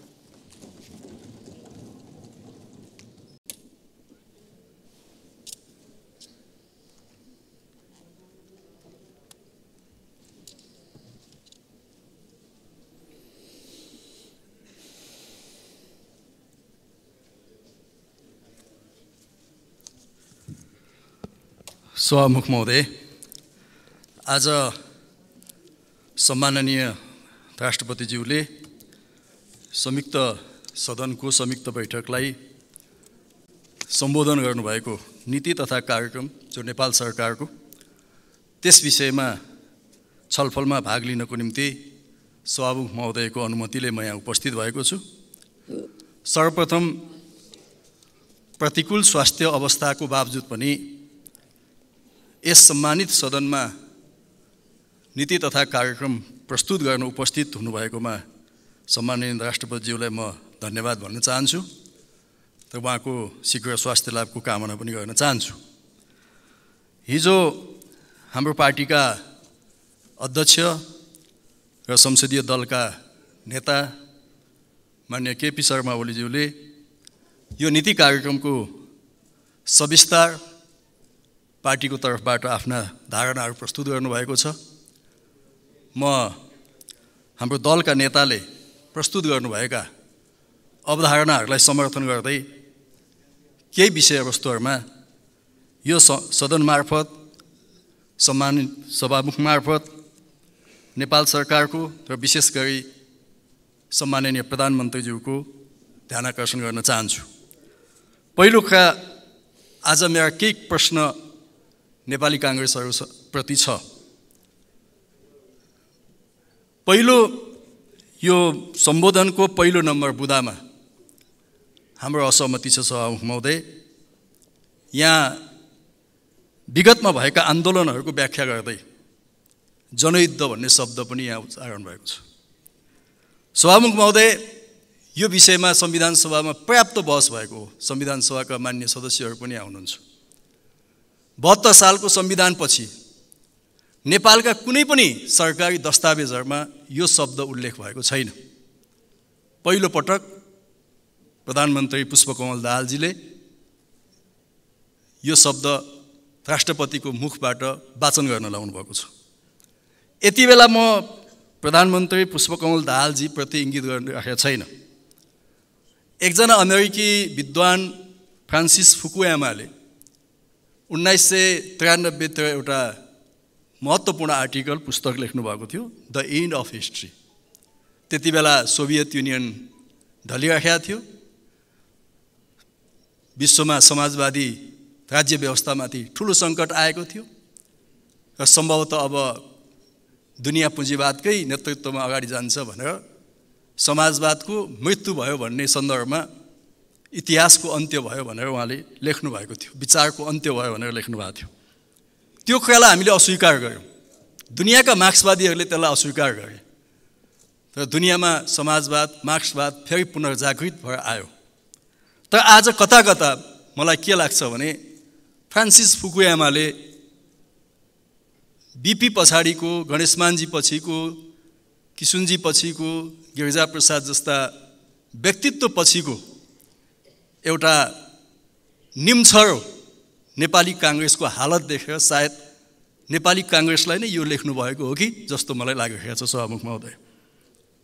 काङ्ग्रेसको यदि यो एक नम्बर बुधा काङ्ग्रेसले स्वीकार्छ भने मलाई लाग्छ कि end of the history Nepali काङ्ग्रेसकै end of the history हो। हिजो हाम्रो अध्यक्षले भने जस्तै हिस्ट्रीले बाई बाई गर्दैन त भन्नुभयो। सियु लेटर भन्छ भन्नुभयो। सायद नेपाली काङ्ग्रेसको सन्दर्भमा त्यो अपवाद हुनसक्छ सायद नेपाली काङ्ग्रेसलाई हिस्ट्रीले बाई बाई गर्न सक्छ। यदि यो शब्दलाई र यो स्पिरिटलाई उहाँहरूले स्वीकार्नुहुन्छ भने यसमा मैले त सवाल यसको जवाफ त मान्य शेरबहाद देउबाजीबाटै पाए हुन्थ्यो भन्ने लाग्छ। तर उहाँ कम बोल्नुहुन्छ बोल्नुहुन्न। किनभने उहाँ पार्टीको सभापति हुनुहुन्छ। आजको गठबन्धनको सबैभन्दा ठुलो दलको नेता हुनुहुन्छ। उहाँको स्वीकृति बिना यो नीति कार्यक्रम कसरी बन्यो होला भन्ने प्रश्न यहाँ त राख्न चाहन्छु। दोस्रोका सभामुख महोदय हामीले नीति कार्यक्रमहरू हेर्दाखेरि विशेष गरी सामाजिक न्यायका कुराहरू किनकि हामी सबैको एउटा जोड के छ भने बैसठी त्रिसठीको राजनीतिक क्रान्ति र संविधान निर्माणसम्म आउँदा नेपालमा एउटा लोकतान्त्रिक क्रान्तिको चरण पुरा भएको छ। अब सामाजिक आर्थिक रूपान्तरण मार्फत समाजमा रहेका वर्गीय जातीय लैङ्गिक क्षेत्रगत विभेदहरूलाई अन्त्य गर्दै नेपाललाई एउटा समतामुखी र समाजवाद उन्मुख राज्यको रूपमा रूपान्तरण गर्ने यो हाम्रो सबैको साझा सङ्कल्प हो। त यो नीति कार्यक्रमले एकाउन्न प्रतिशतको जनसङ्ख्यामा रहेका महिलाहरू पन्ध्र प्रतिशतभन्दा बढी जनसङ्ख्यामा रहेको दलित समुदाय पिछडिएको क्षेत्र र अन्य धेरै जो वर्षौँदेखि राज्यको मूल प्रवाहीकरणमा समेटिन नसकेका वर्ग र समुदायको बारेमा यसले खासै उल्लेख गरेको छैन। त्यसकारणले यो नीति कार्यक्रम समाजका कुन वर्ग र समुदायमा बढी प्रेरित छ कुन वर्ग समुदायप्रति यो आकर्षित छ भन्ने कुरा नै यसमा अन्यल छ। सभामुख महोदय हालै मात्रै केन्द्रीय तथ्याङ्क कार्यालयले दुईवटा महत्त्वपूर्ण डकुमेन्टहरू सार्वजनिक गरेको छ। जनसङ्ख्याको सेन्ससको रिपोर्ट सार्वजनिक गरेको छ। त्यस्तै आर्थिक सर्वेक्षण पनि उसले सार्वजनिक गरेको छ। यो एक सय अठासी बुँदामा भएको नीति कार्यक्रममा स्वयं प्रधानमन्त्री कार्यालयको मात्र तरेको तथ्याङ्क कार्यालयले प्रस्तुत गरेका कयौँ डाटाहरू कयौँ त्यसले निकालेका निष्कर्षहरूको यसमा कुनै पनि त्यसमा चाहिँ झल्को देखिँदैन। एक दुईवटा उदाहरण म भन्न चाहन्छु। विकासको समावेशिताको कुरा गर्दा यो सेन्सस अहिलेको तथ्याङ्कले के भन्छ भने हिमाली क्षेत्रबाट चौध पोइन्ट एक प्रतिशत बसाइँ सराईको अवस्था छ र पहाडबाट बत्तिस पोइन्ट सात प्रतिशत बसाइँ सराईको अवस्था छ। आज किन पहाडबाट र हिमालबाट मान्छेहरू कुम्लो बोकेर मधेस र सहरतिर भागिरहेका छन्? यदि पहाड र हिमालमा मानिसलाई अड्याउन नसक्ने हो भने यो देशको विकासको अवधारणा कोल्टे पर्छ। तर आज यो नीति कार्यक्रमले यो तथ्याङ्कप्रति नजरअन्दाज गरेको छ र यसले कुनै पनि त्यसमा ठोस समाधान दिएको छैन। ठुला संरचनाहरूको विरोध गर्नुहुन्छ अघि पनि एकजना मान्यजीले गर्नुभयो टावरको ठुला एयरपोर्टको ठुला सडक बनाउनु हुँदैन भन्ने जस्तो ढङ्गले विरोध गरिरहनु भएको छ कतिपय मान्य सदस्यहरूले।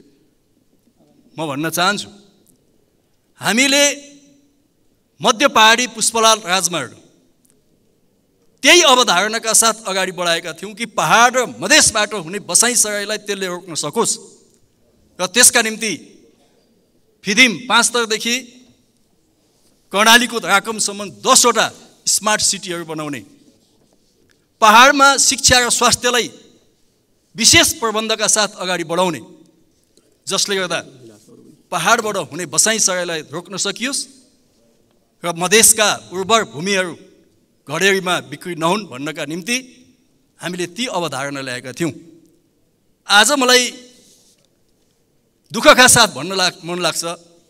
कतिपय मान्यहरूले त गौतम बुद्ध विमानस्थल पोखरा अन्तर्राष्ट्रिय विमानस्थल अहिले नै ह्याम्बर लगेर भत्काइहाल्नुहुन्छ कि?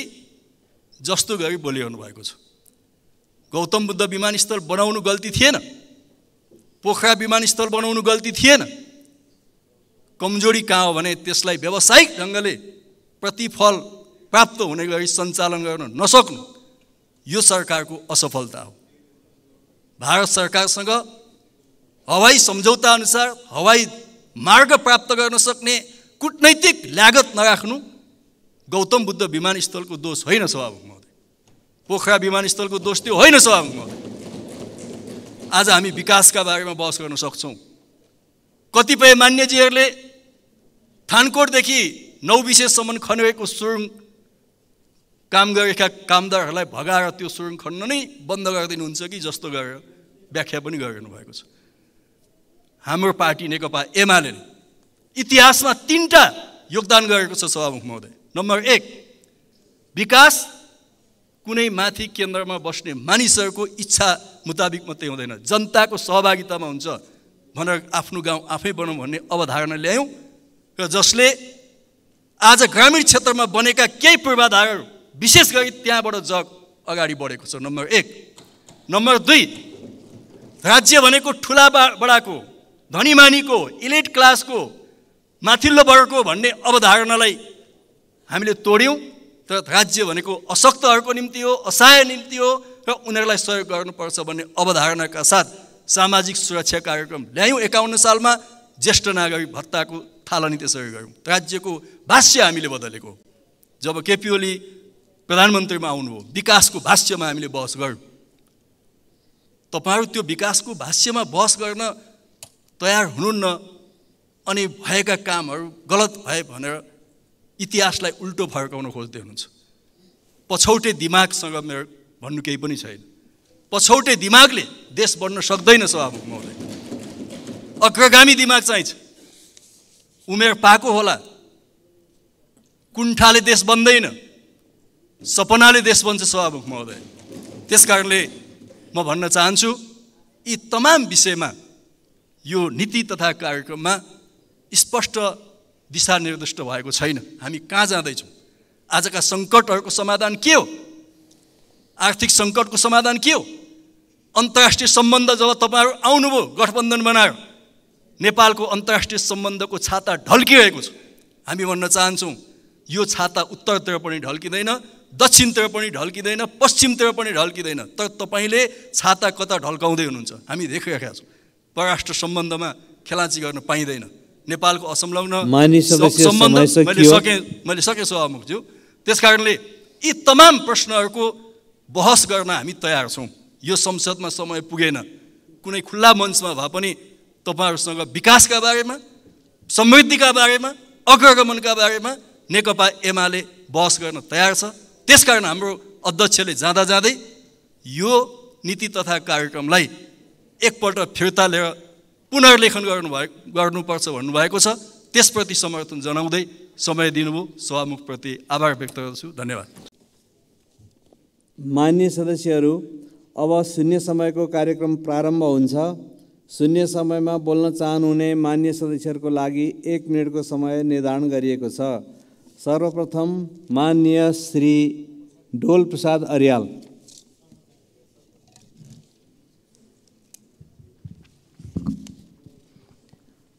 सम्माननीय सभामुख महोदय आज म धादिङ जिल्ला अस्पतालको एक सय शैय्याको नयाँ भवनका लागि डिपिआर भएर पनि प्रदेश स्वास्थ्य सेवा ऐन निष्क्रिय रहेको हुँदा नयाँ भवनको वातावरणीय प्रभाव मूल्याङ्कन हुन नसकेर भवन निर्माण कार्य रोकिएको कुरा यो सम्माननीय सदनलाई यो सम्मानित सदनलाई जानकारी गराउन चाहन्छु।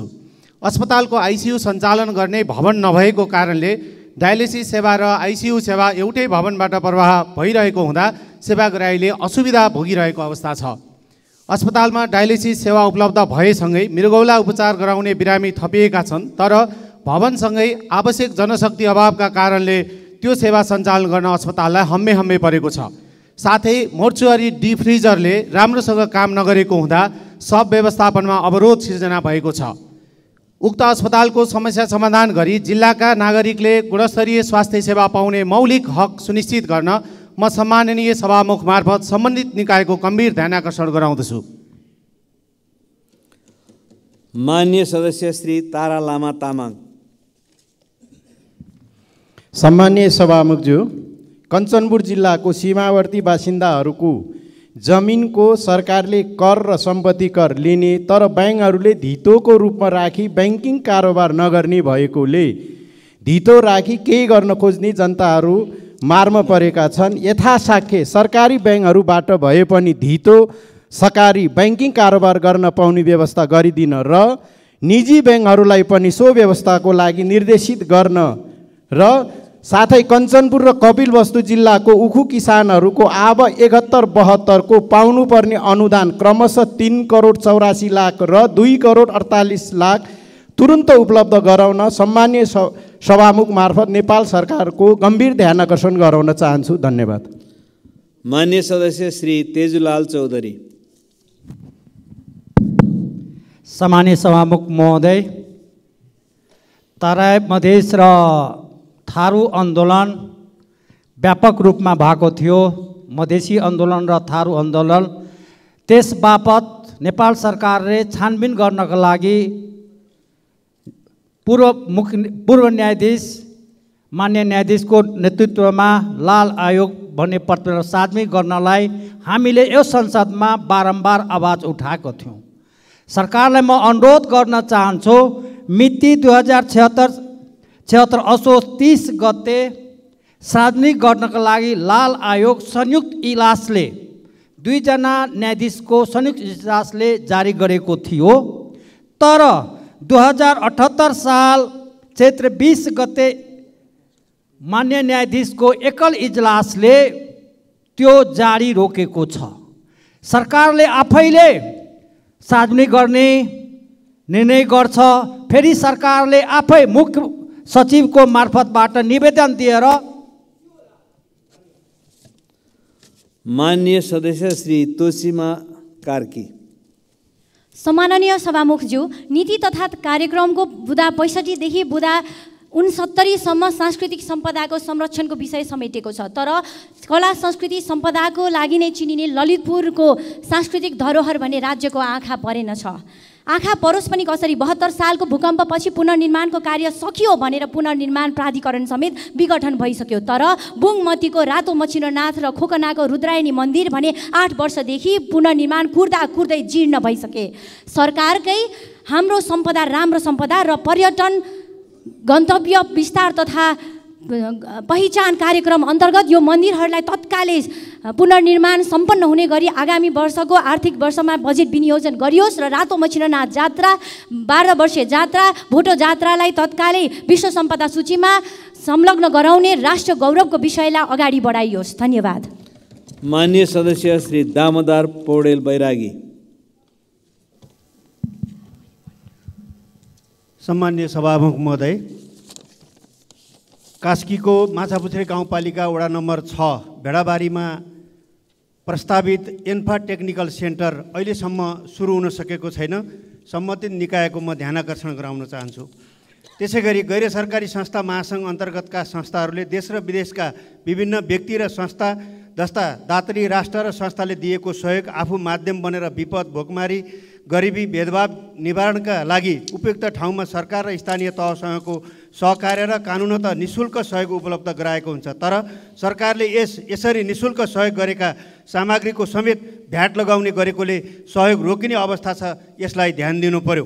त्यसै गरी प्रदेश र स्थानीय तहमा अन्तिम भुक्तानी समानीकरणको अनुदानको पचास प्रतिशत कटौती गर्ने भन्ने पत्र गएको छ यस यो निर्णयलाई तुरन्त फिर्ता लियोस् धन्यवाद। मान्य सदस्य श्री दीपक खड्का। सभामुखज्यू चार जिल्ला जोड्ने एक घन्टामा सभा पुग्ने चतारा लेगुवा बाटो यस वर्ष सम्पन्न गरियोस्। तिन देश जोड्ने जोगमुनि किमथाङका बाटो यही वर्ष जोडियोस् आवश्यक बजेट विनियोजन गरियोस्। चार नगरपालिका जोड्ने रिङ रोड यही वर्ष बजेट विनियोजन गरी काम सुरु गरियोस्। एक मात्र हिमाली जिल्लामा सुरु भएको योगमाया आयुर्वेदिक विश्वविद्यालयलाई आवश्यक बजेट विनियोजन गरियोस्। किमाथाङका नाका चाँडोभन्दा चाँडो खोलियोस्। सिलिचुङ गाउँपालिका र मकालु गाउँपालिका जोड्ने अरुण पुल चाँडो सम्पन्न गरियोस्। सिद्ध पोखरी गुफा पोखरी चिचिला जस्ता धार्मिक पर्यटकीय क्षेत्रमा बजेट विनियोजन गरियोस्। म्याङ जातिलाई जन आदिवासी जनजातिको सूचीकृतमा सूची सूचीकृत गरियोस् भन्ने म सभा सम्मान्य सभामुख मार्फत नेपाल सरकारलाई आग्रह गर्न चाहन्छु। धन्यवाद नमस्कार जय नेपाल। मान्य सदस्य श्री दामोदर भण्डारी। सम्माननीय सभामुख महोदय केही समयदेखि सुदूरपश्चिमका नौवटै जिल्लामा पशु चौपाया खास गरी गाई भैँसीहरूमा लम्पी स्किन डिजिज नामक सङ्क्रमण व्याप्त छ। धेरै पशु चौपायाहरूको मृत्यु भइसकेको छ भने सङ्क्रमण वृद्धि भइरहेको छ। स्थानीय स्तरबाट रोकथामको लागि रोकथाम सकिरहेको छैन। तत्सम्बन्धी विज्ञ टोली पठाइयोस्। मर्कामा परेका पशुपालक किसानहरूलाई क्षतिपूर्तिका लागि म सरकारसँग सम्माननीय सभामुख मार्फत विशेष माग गर्न चाहन्छु। धन्यवाद। मान्य सदस्य श्री दीपक गिरी। सामान्य सभामुख महोदय नेपाल कृषि प्रधान मुलुक हो भनेर हामी सडकदेखि सडकसम्म भाषण फलाक्छौँ देशको अर्थतन्त्रको मुख्य स्रोत कृषि हो भनेर विद्यालयका पाठ्यक्रमदेखि उच्च शिक्षा हुँदै मन्त्रालयको ऐन नियम निर्माण गर्छौँ। तर कृषि उत्पादनको लागि चाहिने मुख्य कम्पोजिसन हामीसँग मल नै छैन। किसानहरू यति बेला मल नपाएर हाहाकार छ। हाम्रो देशको लागि ठुलो विडम्बनाको कुरो हो यो। कृषि मन्त्रालयको तथ्याङ्क अनुसार हाम्रो देशलाई चाहिने युरिया र डिपी डिएपी गरे जम्मा साढे पाँच लाख टन मल हो। हाल करिब दुई लाख टन मात्रै देशभित्र आएको सम्बन्धित अधिकारीहरू बताउँछन्। मेरो गृह जिल्ला दाङ दक्षिण एसिया महादेशकै ठुलो उर्वर भूमि भएको उपत्यका हो। दाङलाई चाहिने आठ हजार टन डिएपी र दस हजार टन युरिया हो। हाल अनुमानित तिन हजार टन युरिया र दुई हजार टन डिएपी मात्रै जिल्ला पुगेको छ। म यस सम्मानित सदन मार्फत तत्काल तत्काल मुलुकभरिका सबै किसानहरूको पहुँचमा सहज रूपमा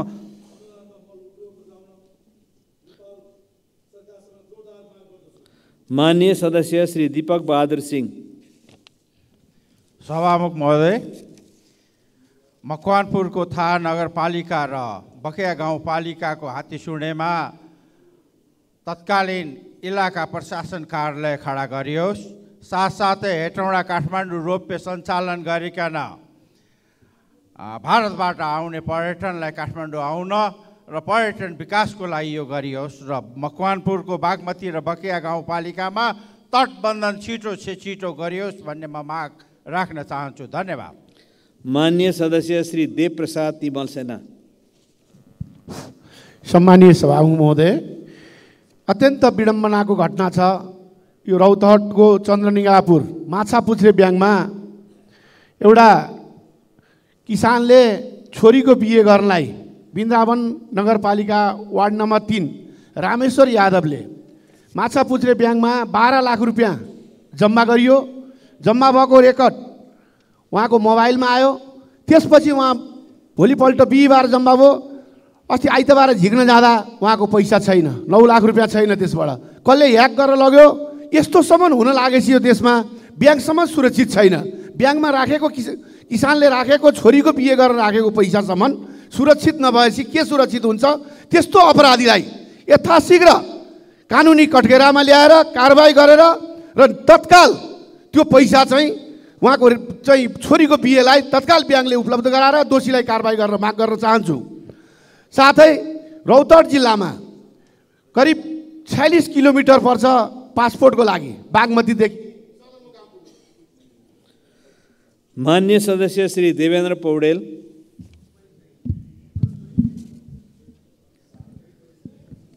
सम्माननीय सभामुख महोदय बागलुङ जिल्लाको बडीघाट गाउँपालिका रिजाल चोकदेखि अमरभूमि हुँदै तारा खोलाको शहीद मार्ग गलकोट हटियादेखि घुस्मिली हुँदै तारा जाने मार्ग निसीखोला देवीस्थानदेखि बोबाङ हुँदै ढोरपाटन जाने सालजनी ढोरपाटन मार्ग बुर्तिबाङदेखि बोङ्गादोबान तमान हुँदै म्याग्दी दरबाङ जोड्ने बाटो अहिलेसम्म निर्माण हुन सकेको छैन सम्मानीय सभामुख महोदय। यसै आर्थिक वर्षदेखि यी बाटाहरू तदारुका साथ अगाडि बढाएर निर्माण कार्य शुभारम्भ गर्नको निम्ति सम्माननीय सभामुख महोदय मार्फत नेपाल सरकारलाई सम्बन्धित निकायलाई हार्दिक अनुरोध गर्न चाहन्छु। धन्यवाद। मान्य सदस्य श्री ध्रुवबहादुर प्रधान।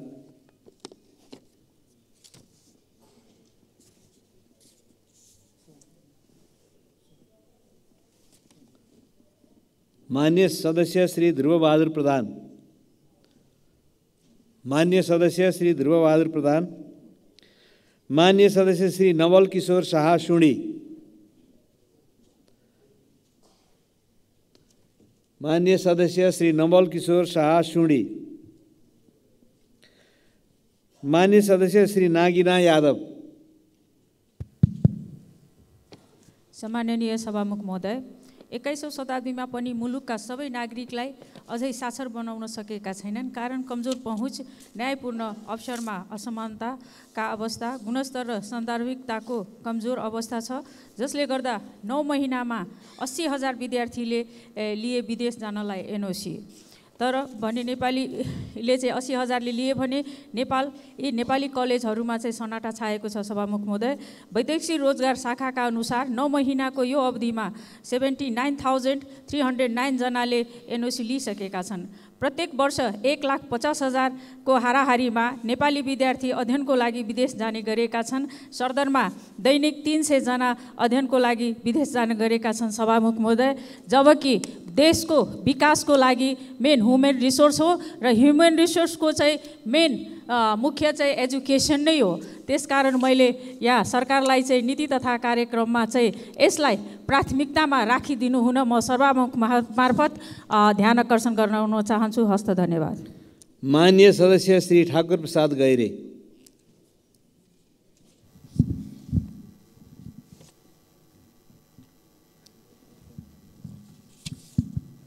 सामान्य सभामुख महोदय यो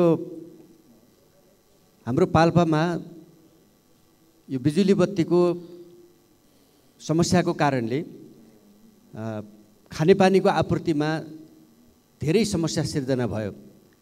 सरकारी कार्यालयमा यो नागरिकता बनाउने पासपोर्ट सिफारिस गर्नेदेखि लिएर सरकारी कामहरू चाहिँ अवरुद्ध हुने अरू चाहिँ विकास निर्माणका कामहरू अवरुद्ध हुने शिक्षा स्वास्थ्य पठन पाठन लगायतका कामहरूमा समेत अवरुद्ध हुने निकै समस्या झेल्नु परेको एउटा पीडाजन्य अवस्था रह्यो।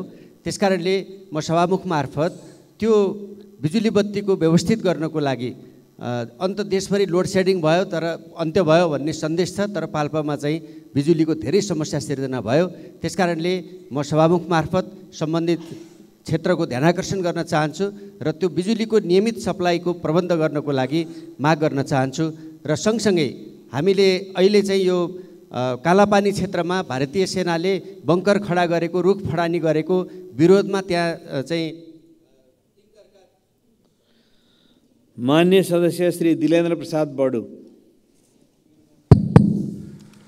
सम्माननीय सभामुख महोदय यही दुई हजार अस्सी ज्येष्ठ एक गतेका दिन नेपाली सेनाका सहसेनानी दिपेन्द्र सिंह खत्री लगायत पाँच सदस्यीय आरोहण टोलीले विश्वको सर्वोच्च शिखर सगरमाथा आरोहण गर्न सफल भएका छन्। नेपाली सेनाको मात्र नभई सम्पूर्ण देशकै सानमान र प्रतिष्ठा श्रीवृद्धि गर्न सफल उक्त टोलीलाई हार्दिक बधाई दिन चाहन्छु। दुर्भाग्यवश फर्केर आउँदा सहसेनानी दिपेन्द्र लगायत दिपेन्द्र खत्री लगायत तिनजना सक्त घाइते भएर हाल सिवेक हस्पिटलमा उपचाररत छन् र तीमध्ये सहसेनानी दिपेन्द्र खत्रीको अवस्था अत्यन्त गम्भीर हुँदै गएको कुरा त्यहाँका उपचाररत उपचारमा सर्गन डक्टरहरूबाट जानकारी प्राप्त भएको छ। त्यसकारण सहसेनानी दिपेन्द्र खत्रीलाई मित्र राष्ट्र भारत अथवा अन्यत्र सुविधा सम्पन्न हस्पिटलमा गएर उपचारको प्रभावकारी व्यवस्थाका निमित्त म रक्षा मन्त्रालय र नेपाल सरकारको सित म हार्दिक आग्रह गर्न चाहन्छु। हस् धन्यवाद। मान्य सदस्य श्री नारायणी शर्मा।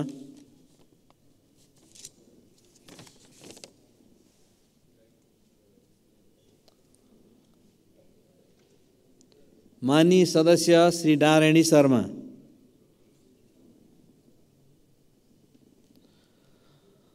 मान्य सदस्य श्री निर्मला कोइराला।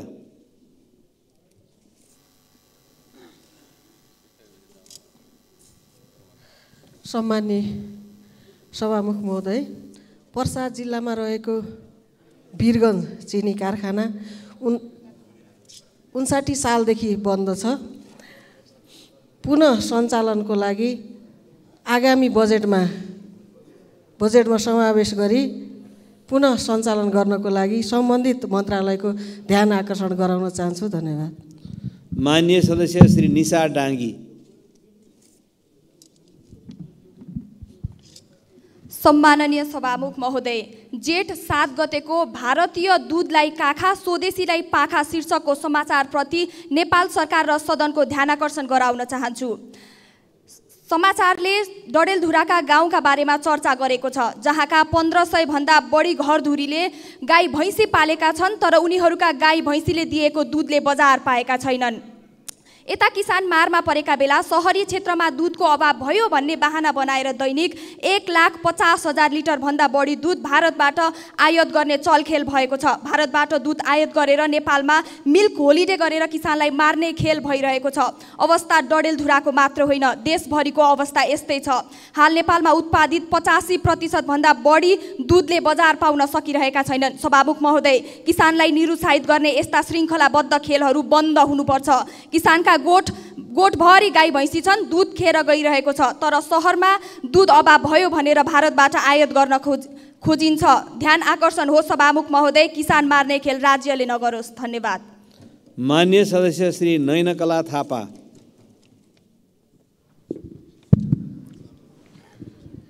सभामुख अध्यक्ष महोदय सर्वप्रथम म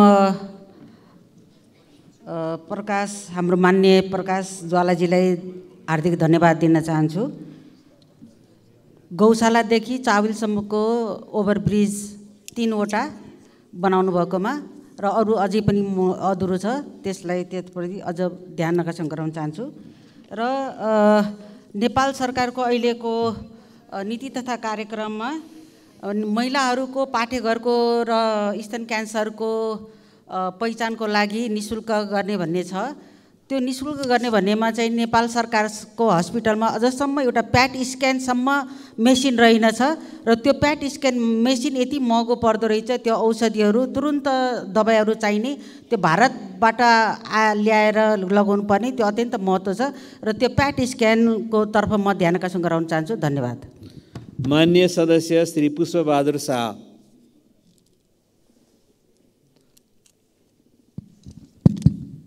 सम्माननीय सभामुख महोदय अछाम जिल्लामा गत भदौ एकतिस गतेको बाढी पहिरोमा परि छब्बिसजनाले ज्यान गुमाएका थिए। मृतकका परिवारहरूले अहिलेसम्म राहत पाउन सकेका छैनन् वर्षायाम सुरु भइसक्यो घर परिवारविहीन केही परिवार अलपत्र अवस्थामा छन् थुप्रै बस्ती जोखिममा परेका छन्।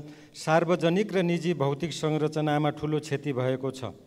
तुर्माखाँद गाउँपालिका ढकारी गाउँपालिका कमल बजार नगरपालिका विनायक नगरपालिका र मङ्गलसेन नगरपालिकामा जोखिममा रहेका बस्तीहरूको स्थानान्तरण गर्नुपर्ने काम सुरु हुन सकेको छैन। तसर्थ तत्काल पीडितहरूलाई राहत भौतिक संरचनाको निर्माण र जोखिममा रहेका बस्तीहरूको स्थान स्थानान्तरणका लागि सभामुखज्यू मार्फत सर सरकारको ध्यान आकर्षण गराउँदछु। धन्यवाद। मान्य सदस्य श्री पूर्णबहादुर घरती मगर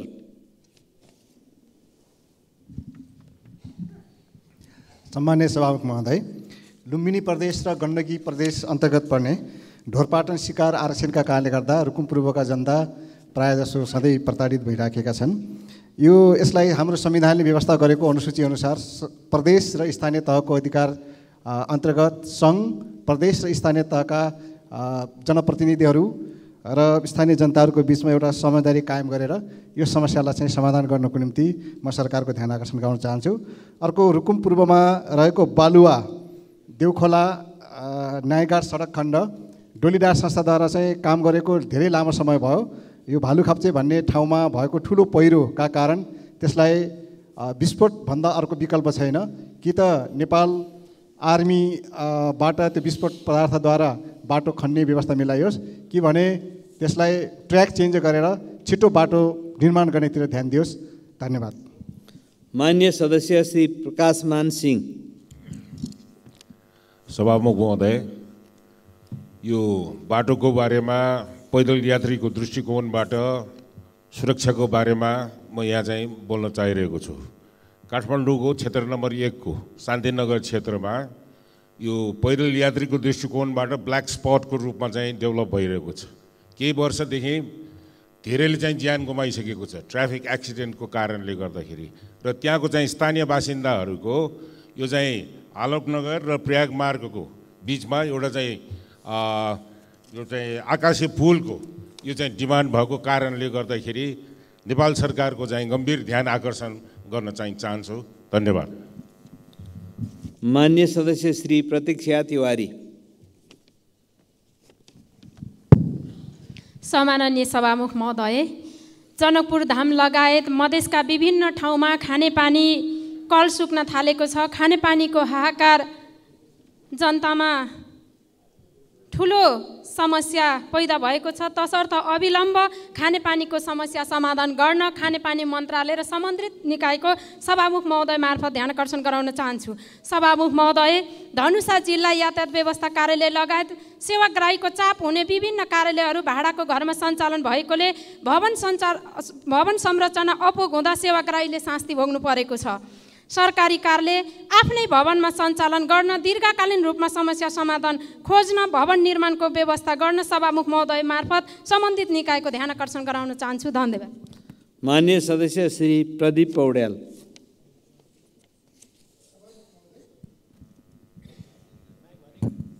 सभामुख महोदय हरेक व्यक्ति प्रविधिसँग जोडिन चाहन्छ। राज्यले सबै क्षेत्रलाई प्रविधिकरण गर्ने राष्ट्रिय अभियान जस्तै सुरु गरेको छ। प्रविधिकरणका लागि इन्टरनेट अनिवार्य हुन्छ। अहिले उपलब्ध सेवामा गुणस्तरीयता गति क्षमता निरन्तरता केही पनि छैन। सेवा अवरुद्ध हुँदा अवधि बराबरको सेवा प्रदान गर्ने वा अवरुद्ध अवधिको शुल्क नलाग्ने अ, शर्त समेत पालना गरिएको छैन। इन्टरनेट सेवा उपलब्ध गराउन प्रतिस्पर्धा गरिरहेका इन्टरनेट सेवा प्रदायक कम्पनीहरूले आफ्नो सेवाको गुणस्तर वृद्धि गर्नुभन्दा रातारात मिलेर मूल्य बढाउन लागिरहेका छन् भन्ने सुन्नमा आएको छ। तसर्थ इन्टरनेट कम्पनीहरूले मिलिमतोमा बढाउने अनुचित मूल्यलाई तत्काल रोक्न र उनीहरूलाई स्वस्थ प्रतिस्पर्धाबाट गुणस्तरीय सेवा उपलब्ध गराउने वातावरण निर्माण गर्न म सभामुख मार्फत सरकारको ध्यान आकर्षण गर्न चाहन्छु। आम सेवाग्राहीलाई मारमा पर्ने गरी सेवाग्राहीको मल्टिपल छनौटको अधिकारलाई समेत व्यवस्था गरेर बजारलाई प्रतिस्पर्धाबाट विमुख गराउन पाइँदैन। धन्यवाद। मान्य सदस्य श्री प्रदीप यादव। सम्मानीय सभामुख महोदय मध्य प्रदेशको आठवटा जिल्लाबाट पैँतिसजना अभियन्ता वीरगञ्ज स्थित शीर्ष नदीको प्रदूषित पानी बोकेर काठमाडौँको पैदल यात्रामा हिँडेका छन्। पर्सा र बाराका केही उद्योगहरूले प्रदूषित बनाएको शीर्ष नदीको सफाइको लागि सङ्घ सरकारले कुनै कदम नउठाएपछि अभियन्ताहरूले सिंहदरबारमाथि दबाव बनाउन पैदल यात्रा सुरु गरेका छन्। शीर्ष नदु नदीलाई प्रदूषण मुक्त बनाउन वीरगञ्ज महानगरपालिकाले एकल प्रयास पर्याप्त छैन। यसमा सङ्घ सरकारको भूमिका खेल्नै पर्छ। महानगरले पटक पटक जरिवाना गर्दा पनि उद्योगहरूले अटोडी अटडी गरिरहेका छन्। सङ्घ सरकारका उद्योग मन्त्री पर्सावासी हुनुहुन्छ। माननीय उद्योग मन्त्रीज्यूले शीर्ष नदीको अवस्थाबारे थाहा छ। शीर्ष नदीलाई प्रदूषित गर्ने उद्योगलाई कारवाही गर्ने उहाँको अधिकार क्षेत्रभित्र पर्छ। हालसम्म उहाँले यसको लागि के गर्नुभएको छ संसद मार्फत जानकारी गराउन अनुरोध गर्दछु। धन्यवाद। मान्य सदस्य श्री प्रभु शाह। सभामुख महोदय रौतहटको लाल बकैया सिँचाइ योजना। झन्डै पाँच वर्षदेखि रेड बुकमा निर्माणको लागि पर्दै आएको छ। करोडौँ रकम हुन्छ। डिपिआर भएको वर्ष भइसक्यो। ठिका किन हुँदैन यसको जवाब चाहन्छु सभामुखज्यू। त्यस्तै मौलापो ढलको पनि झन्डै तिन वर्षदेखि पैसा छुट्याउने रेड बुकमा पर्ने डिपिआर पनि भइसकेको। ठेका किन हुँदैन यसको पनि जवाब चाहन्छु। खानेपानी मन्त्रालयले एक वर्ष अगाडि झन्डै मधेसमा करोडौँको चापाकल गाड्ने भने ठेक्का गरेको सुन्यौँ। तर अहिले त्यो चापाकल कुन ठाउँमा कति गाडिएको छ यसको जवाब चाहन्छु सभामुखज्यू। अहिले रेड बुकमा पार्ने र अन्तिममा आएर भ्रष्ट कर्मचारीहरूले रकमान्तर गर्ने रुट्ने प्रवृत्तिलाई रोक्न ठोस निर्देशनको माग गर्दछु। धन्यवाद। मान्य सदस्य श्री प्रेमबहादुर महर्जन। सम्मान्य सभामुख महोदय सहकालको देवता वर्षायामको देवता रातो मच्छिन्द्रनाथलाई आज लगन खेलको यति तोलबाट जाउल खेल पुर्याइँदैछ हजारौँ मानिसहरूको उपस्थितिमा म सम्पूर्ण मान्य सदस्यहरूलाई उक्त जात्रा अवलोकनको निमित्त निम्ता पनि गर्न चाहन्छु। र आज पुर्याइसके पछाडि चार दिन पछाडि भोटो जात्रा सम्पन्न हुन्छ र उक्त दिन सार्वजनिक विदा पनि हुन्छ। नेपालका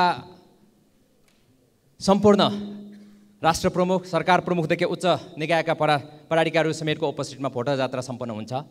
र त्यो रातो मच्छेन्द्रनाथको दुईवटा मन्दिर छन्। एउटा लगनखे एउटा भुङ्गमती र अर्को तहबाल ललितपुर क्षेत्र नम्बर दुई र तिनमा पर्छ। यो ऐतिहासिक महत्त्वको जात्रा भएको हुनाले यसलाई विश्व सम्पदा सूचीमा राख्नका निमित्त मैले आग्रह गर्दै आइरहेको छौँ। त्यसका निमित्त जोरदार माग गर्न चाहन्छु। र यो वर्षायामको देवता भएको हुनाले सडक अब हिलामे हुँदैछ र ग्वारको ओभरपास कोटेश्वर मुनिको पुल र इमाडोल वडा नम्बर दुई तिन पाँचमा पर्ने मैना पैनाचोल महादेवदेखिको गोराउडी खोलासम्मको बाटोलाई तत्काल सुधारको निमित्त म हार्दिक मान्य सदस्य श्री प्रेम सुवाल। सभामुख महोदय सभामुख महोदय मार्फत सरकारको ध्यान आकर्षण गराउन चाहन्छु। प्रधानमन्त्रीय प्रणालीमा मन्त्रीहरूको काम कारवाहीको जिम्मेवारी प्रधानमन्त्रीले लिनुपर्ने हुन्छ। नेपालीलाई नक्कली भुटानी शरणार्थी प्रकरणका आरोपीहरू पूर्व उप प्रधानमन्त्री दुईजना प्रहरी अनुसन्धानमा छन्।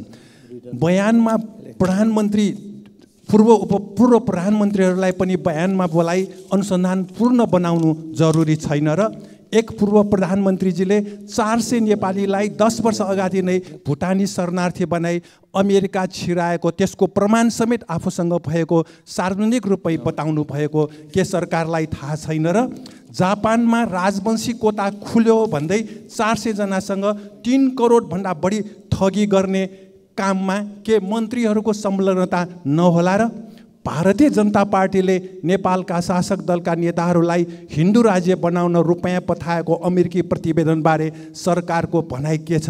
भाजपाले नेपालको आन्तरिक मामिलामा हस्तक्षेप गरेकोलाई सरकारले विरोध र प्रश्न गर्नु जरुरी छैन र धन्यवाद। मान्य सदस्य श्री बद्री प्रसाद पाण्डे। सम्मान्य सभामुखज्यू हामीले नीति तथा कार्यक्रममा छलफल गरिरहँदा दाङ जिल्लाको घोराई उपमहानगरपालिकाका किसान बाबुराम चौधरीको समाचार प्रमुखताका साथ सञ्चार माध्यममा आएको छ। एक बिगामा लगाएको बन्दागोभी पाँच रुपियाँको प्रति केजी बेच्नुपर्ने भएपछि लागत नउठ्ने भएपछि त्यो बारीमै सुकेको छ। यो एउटा प्रतिनिधि घटना मात्रै हो। वर्षैभरि दुध नबिकेर दुध पोख्नुपर्ने गोलभेडा नपुकेर नबिकेर गोलभेडा फाल्नुपर्ने किसानले नियति बेहोरिरहेका छन्। यस अवस्थामा सरकारले त्यस्ता किसानहरूको मर्का सुन्नका लागि तत्काल एउटा किसान एप्स खडा गरोस् मर्का परेको किसानले सरकारलाई माग गर्न सकोस् सरकारले उक्त किसानको खेर जान लागेको नबिकेको वस्तु खरिद गरिदियोस् शीत भण्डारमा सुरक्षित राखेर बेमौसममा त्यसलाई बेचेर नाफा कमाउने अथवा उत्पादनलाई खेर नजाने बाटो लिनुपर्छ नीति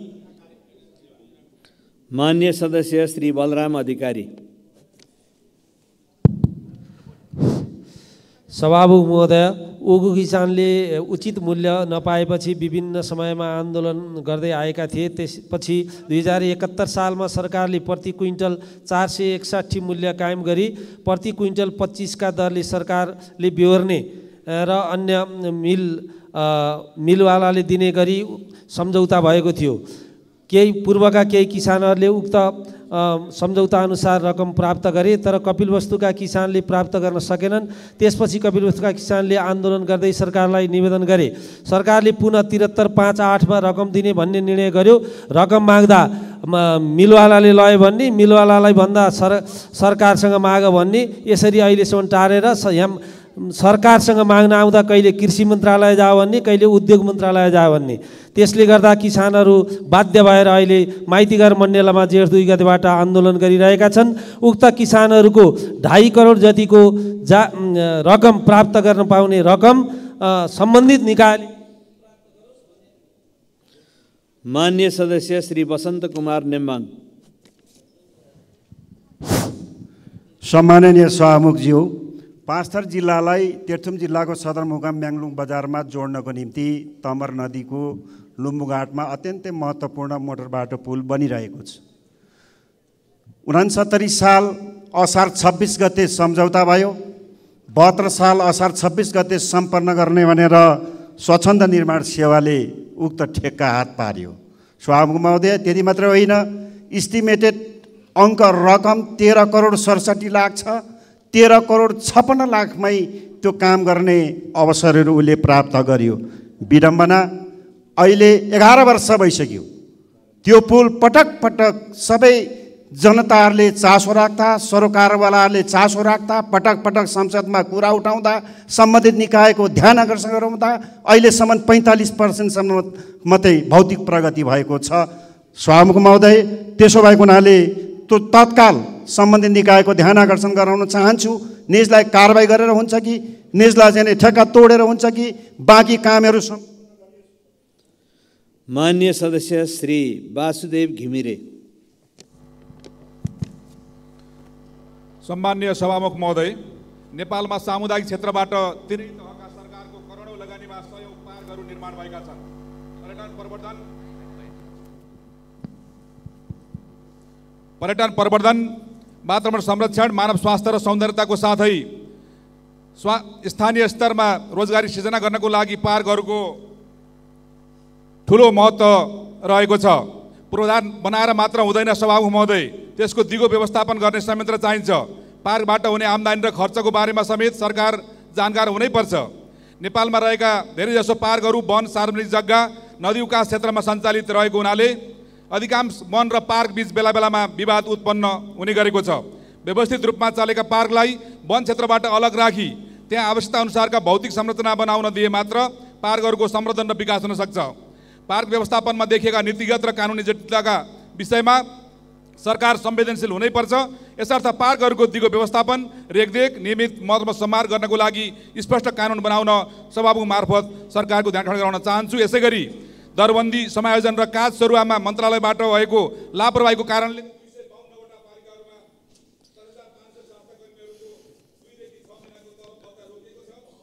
माननीय सदस्य श्री विनिता कठायत।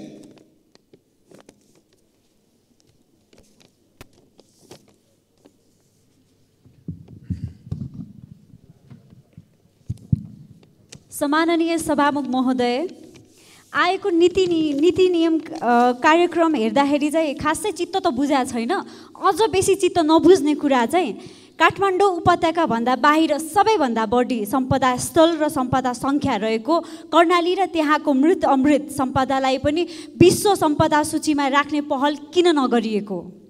नेपाली मौलिक संस्कृतिको उद्गम स्थल जुम्ला सिजाले वास्तवमा गोर्खाली संस्कृतिभन्दा वृत्त आयात दिन्छ संस्कृति सम्वर्धन र सङ्ग्रहालय बनाउने नीतिमा कर्णाली नस नसमेटिनु दुःखदको कुरा हो। कर्णालीको कुरा यस राज्य र सदनले नबुझेको हो कि बुझ पचाएको हो? बुझ पचाएको हो भने यस सदनले र सरकारले योचोटि कर्णालीका कुरा बुझ्नु पर्यो सुनिदिनु पर्यो र हेरिदिनु पर्यो। धन्यवाद। मान्य सदस्यहरू शून्य समयमा बोल्ने क्रम यहीँ समाप्त हुन्छ।